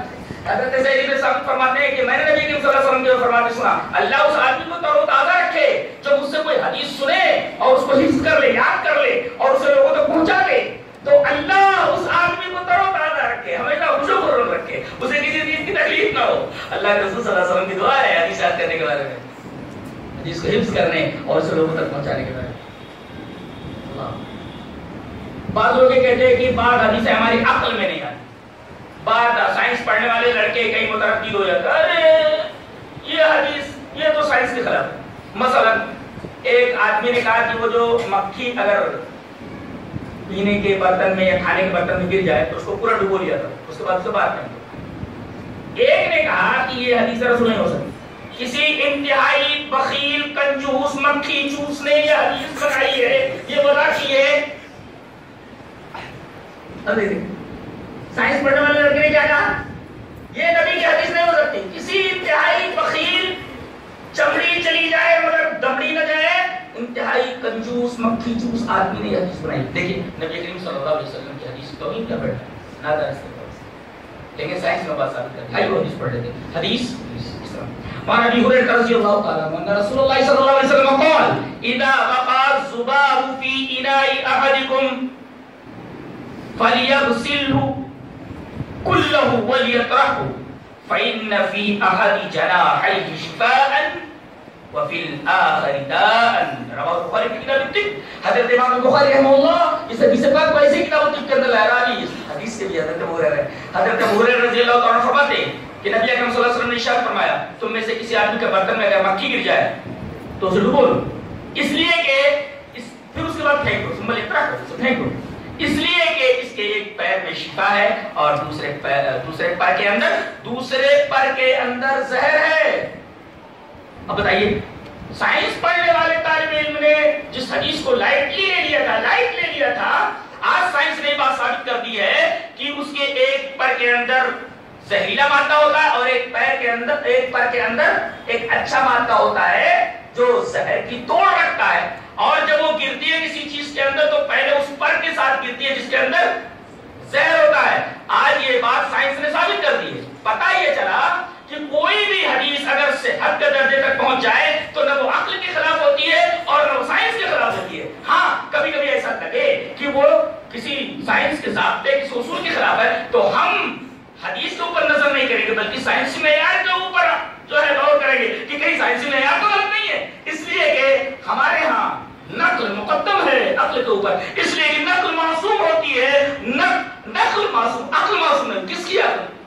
ایک ہے بخاری کی عقل۔ ایک امام مسلم کی عقل ایک عام آدمی کی ایک سائنس پڑھنے والی لڑکی بتائیے دونوں کے عقلوں میں کیا کیا تقابل ہے؟ امام بخاری کی عقل، اللہ عمر اتنا بڑا ذہین۔ روئے زمین پر ایسے لوگ بہت کم دیکھے گئے اتنا زبردست اور اتنا قوی الحافظہ بہت کم لوگ دیکھے گئے حضرت امام بخاری رحمۃ اللہ۔ ان کے پاس کیا کیا ان کے پاس عقل نہیں تھی کہ اس حدیث کو پڑھتے اچھا ایک بات ہے۔ صحابہ کرام رضوان اللہ تعالی علیہ بتائیں گے ایک نقطہ بتاتا ہوں۔ جب اللہ نے یہ کہہ دیا قرآن میں کہ مجھے ایمان چاہیے میرے نبی کے صحابہ جیسا اور مجھے عمل مطلوب ہے میرے نبی کے صحابہ جیسا عمل۔ تو آپ چپ چاپ مان لیجیے نا پھر سائنس کی طرف جاتے ہیں۔ آپ کے عقل میں آئے یا نہ آئے؟ بات لوگ کہتے ہیں کہ بھائی سائنس کے معیار پر پوری نہیں اتر رہی، حالانکہ کوئی صحیح حدیث سائنس کے معیار کے خلاف ہو ہی نہیں سکتی۔ اچھا عقل میں نہیں آ رہی ہے۔ عقل میں نہیں آ رہی۔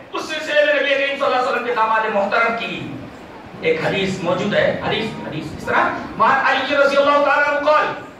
لو كان الدين بالرأي لكان أسفل الخف أولى بالمسح من أعلى وقد رأيت رسول الله صلى الله عليه وسلم يمسح على ظاهر الخفين كما هو أبو داود في كتاب الطهارة حضرت إمام أبي داود رحمه الله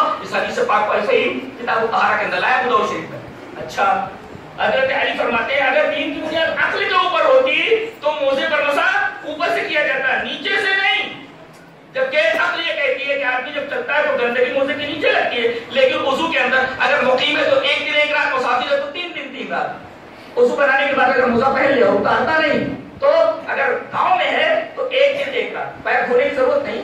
دیگر آدھا دھل کر کے پیر اوپر اوپر سے مسا کرے اور اگر مسافر ہے تو تین دن تین رات۔ یہ مسئلہ ہے۔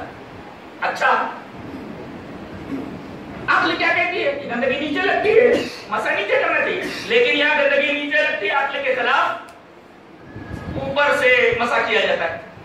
پتا یہ چلا کہ اگر نقل آ جائے اور عقل ایسا کہے کہ سمجھ میں نہیں آ رہا ہے، تو چپ چاپ عقل کو نقل کے سامنے ہتھیار ڈال دینا چاہیے۔ اس لیے کہ ایک نقطہ بتاتا ہوں کہ بہت سارے سائنسی حقائق ایسے ہیں کہ وہاں کیوں کا جواب نہیں ہے۔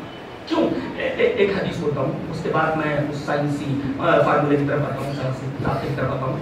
پہلے حدیث میں کرتا حدیث حدیث کی طرف۔ وعن معاذ قالت، سألت عائشة رضي الله تعالى عنها فقلت، ما بال الحائض؟ تقص ولا تقص فقالت أحرورية أنت؟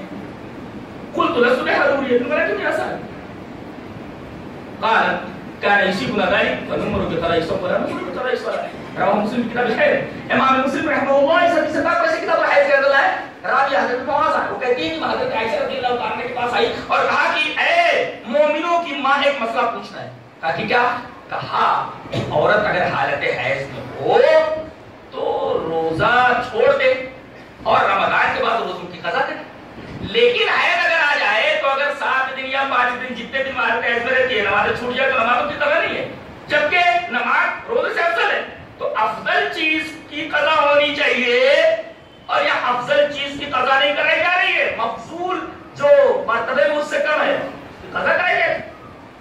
نماز پڑھی روزہ؟ نماز پڑھی۔ تو نماز کی قضا نہیں کرائی جا رہی۔ ہر تحس کے اندر چھوٹ گئی ہے۔ ہر تحس کے اندر روزے چھوٹے گئے۔ تو رمضان کے بعد اس کی قضا کریں۔ کیوں ایسا؟ اب کیا جواب دینا چاہیے؟ حضرت عائشہ نے فرمایا، تو حروریہ ہے کیا؟ دیکھو ہر بات کو عقل کی میزان میں توڑنے والی؟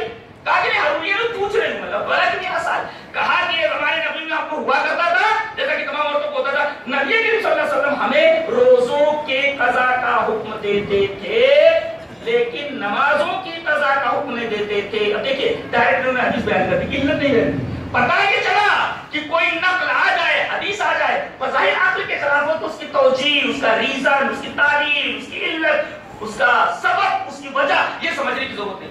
ضروری نہیں کہ ہر مسئلے کی علت آپ کو بتائی جائے۔ یہ مسئلہ اس وجہ سے ہے۔ آپ کو صرف ماننا ہے اور یہ تو سائنس بھی کہتی ہے۔ سائنس بھی کہتی ہے کہ بہت ساری چیزوں میں کیا کرے اور پوری سائنس اس بات پر ٹکی ہوئی سائنس کے پاس کیا کا جواب تو ہے؟ کیوں کا جواب نہیں؟ مثلا یہ میں پوچھوں واٹ از واٹر پانی کیا ہے؟ پانی کیا ہے؟ تو آپ کیا جواب دیں گے؟ ایس ٹو او کا تناسب یعنی ہائیڈروجن کے دو حصے اور آکسیجن کا ایک حصہ۔ ایس ٹو او کے تناسب سے پانی بنتا ہے۔ ہائیڈروجن کا دو حصہ اور آکسیجن کا ایک حصہ۔ ملا دیا جائے تو پروردگار عالم ہے۔ اب دونوں ایک اور دونوں خطرناک کیسے ہیں عجیب بات ہے۔ ایک جلاتی ہے اور ایک جلنے کے اوپر تیل کا کام کرتی ہے۔ ایک جلاتی ہے اور ایک جلنے کے عمل کو تیز کرتی ہے۔ دونوں خطرناک کیسے ہیں دونوں کو ملا دیا جائے تو آب حیات بن جاتا ہے۔ بتائے زندگی اس پر انسان دونوں خطرناک کیسے کوئی خاص تناسب ملا دیا پانی بن بنانے والا کتنا عجیب ہے سبحان اللہ کو نہیں سبحان اللہ کے نبی پوچھا کہ واٹ از واٹر پانی کیا ہے بولے ایس ٹو او کا تناسب ہائیڈروجن کا دو حصہ اور آکسیجن کا ایک حصہ کیوں ایسا کیوں نہیں آکسیجن کے دو حصہ ہائیڈروجن کا ایک حصہ اللہ معلوم تو سائنس کے پاس کیا کا جو جواب تو ہے واٹر کیا ہے ایس ٹو کا کیوں ہے ایسا اسی کا تناسب کیوں اس کا الٹا کیوں نہیں اس کا عکس کیوں نہیں ایسا کیوں ہے پتا یہ چلا کہ ضروری نہیں کہ تمام چیزوں کی علت آدمی جانے تبھی مانے یہاں دیکھیے واٹر کو مانا گیا ایس ٹو کا تناسب بھی مانا گیا لیکن وہاں اس کی تعلیم موجود نہیں تعلیم موجود ہے چیز کو تسلیم کیا جاتا ہے تو مسئلہ شریعہ کے اندر اگر ہمیں کوئی تعلیم اور اس کی علت نہ ملے اس کا ریزن نہ ملے تو سائنس بھی کہتی ہے کہ چیز تسلیم کر لیا جائے نا اور ہم مانتے ہیں نقل معصوم ہوتی ہے۔ عقل معصوم ہے عقل غلطی کر سکتی ہے، نقل غلطی نہیں کرتی۔ اس لیے کہ نقل، یہ تو اللہ کے رسول صلی اللہ کے رسول صلی اللہ علیہ وسلم کے زمانے مبارک سے جو چیز نکلتی ہے، وہ وہی ہوتی ہے۔ اللہ نے بتایا وما ينطق عن الهوى ان هو الا وحي يوحى۔ میرا نبی جب بولتا ہے، تو خواہش نفس تو نہیں بولتا۔ جو بولتا ہے، زبان اس کی ہوتی بات میری ہوتی۔ ہے ظاہر ہے کہ اللہ زبان رسول سے بول رہا ہے، تو زبان رسول سے جو کچھ نکلا وہ نقل ہے۔ اور نقل معصوم ہے، اس لیے کہ وہ اللہ کی بات ہے، تو زبان رسول سے نکل رہی ہے۔ تو اللہ کی بات معصوم ہے کہ نہیں؟ اس کے اوپر نقل کیا جا سکتا ہے؟ اس کا ریزن پوچھنے والا تو کون؟ کون بیٹا تو؟ تیرے پیدا کرنے والے نے کہا چپ چاپ لے۔ تیرے پیدا کرنے والے نے بیٹا، یہ کرنا ہے۔ کیوں امی؟ کیوں ہوتا اس لیے ابا نے کہا اما نے کہا چپ چاپ لے۔ بہت ساری چیزیں ایسی ہیں۔ تو بتایا جائے تو تیری عقل نہیں آئے۔ تو چپ مان لینا۔ تو ہمارے عقل معصوم۔ عقل معصوم نہیں ہے۔ نہ معصوم۔ لہذا معصوم کو غیر معصوم کے اوپر تقدم تو ہونا چاہیے۔ تو بہت ساری چیزیں لوگ کہتے ہیں کہ یہ سائنس کے خلاف ہے سائنس کے خلاف ہے۔ اسی طرح بہت سارے لوگ کہتے ہیں یہ چیز ہمارے عقل کے خلاف ہے، عقل کے خلاف نہیں اس چیز کا ریزن ہماری سمجھ میں نہیں ہے۔ سائنس کے بھی تو بہت سارے ایسے قواعد ایسے فارمولے کا ریزن معلوم ہے لیکن اس کو بعد ہم تسلیم کریں۔ اور آخری بات، زندگی کے تمام مسائل کا حل۔ نبی کریم صلی اللہ علیہ وسلم کے حدیث تو کوئی بھی مسئلہ زندگی کا درپیش ہو قرآن میں اور حدیث میں بہت دیکھا جائے اللہ تبارک و تعالیٰ ہمیں نیک عمل اور اچھی سمجھ توفیق عطا فرمائے۔ آخر دعوانا الحمدللہ رب العالمین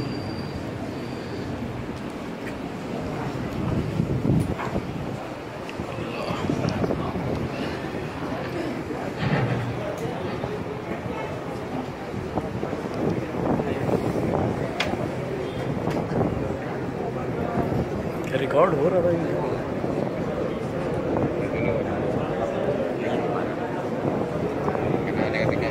شیخ کو اللہ تعالیٰ کو تعالیٰ جو ہے خیر عطا فرمائے شیخ کو اللہ صحت و تندرستی عطا فرمائے شیخ نے مختلف مثالوں اور حدیثوں کے ذریعے سے، حدیث کی عظمت اور حدیث کے سیکھنے کی عظمت، عامل حدیث کی عظمت کو بڑے ہی اچھے انداز میں بیان کیا۔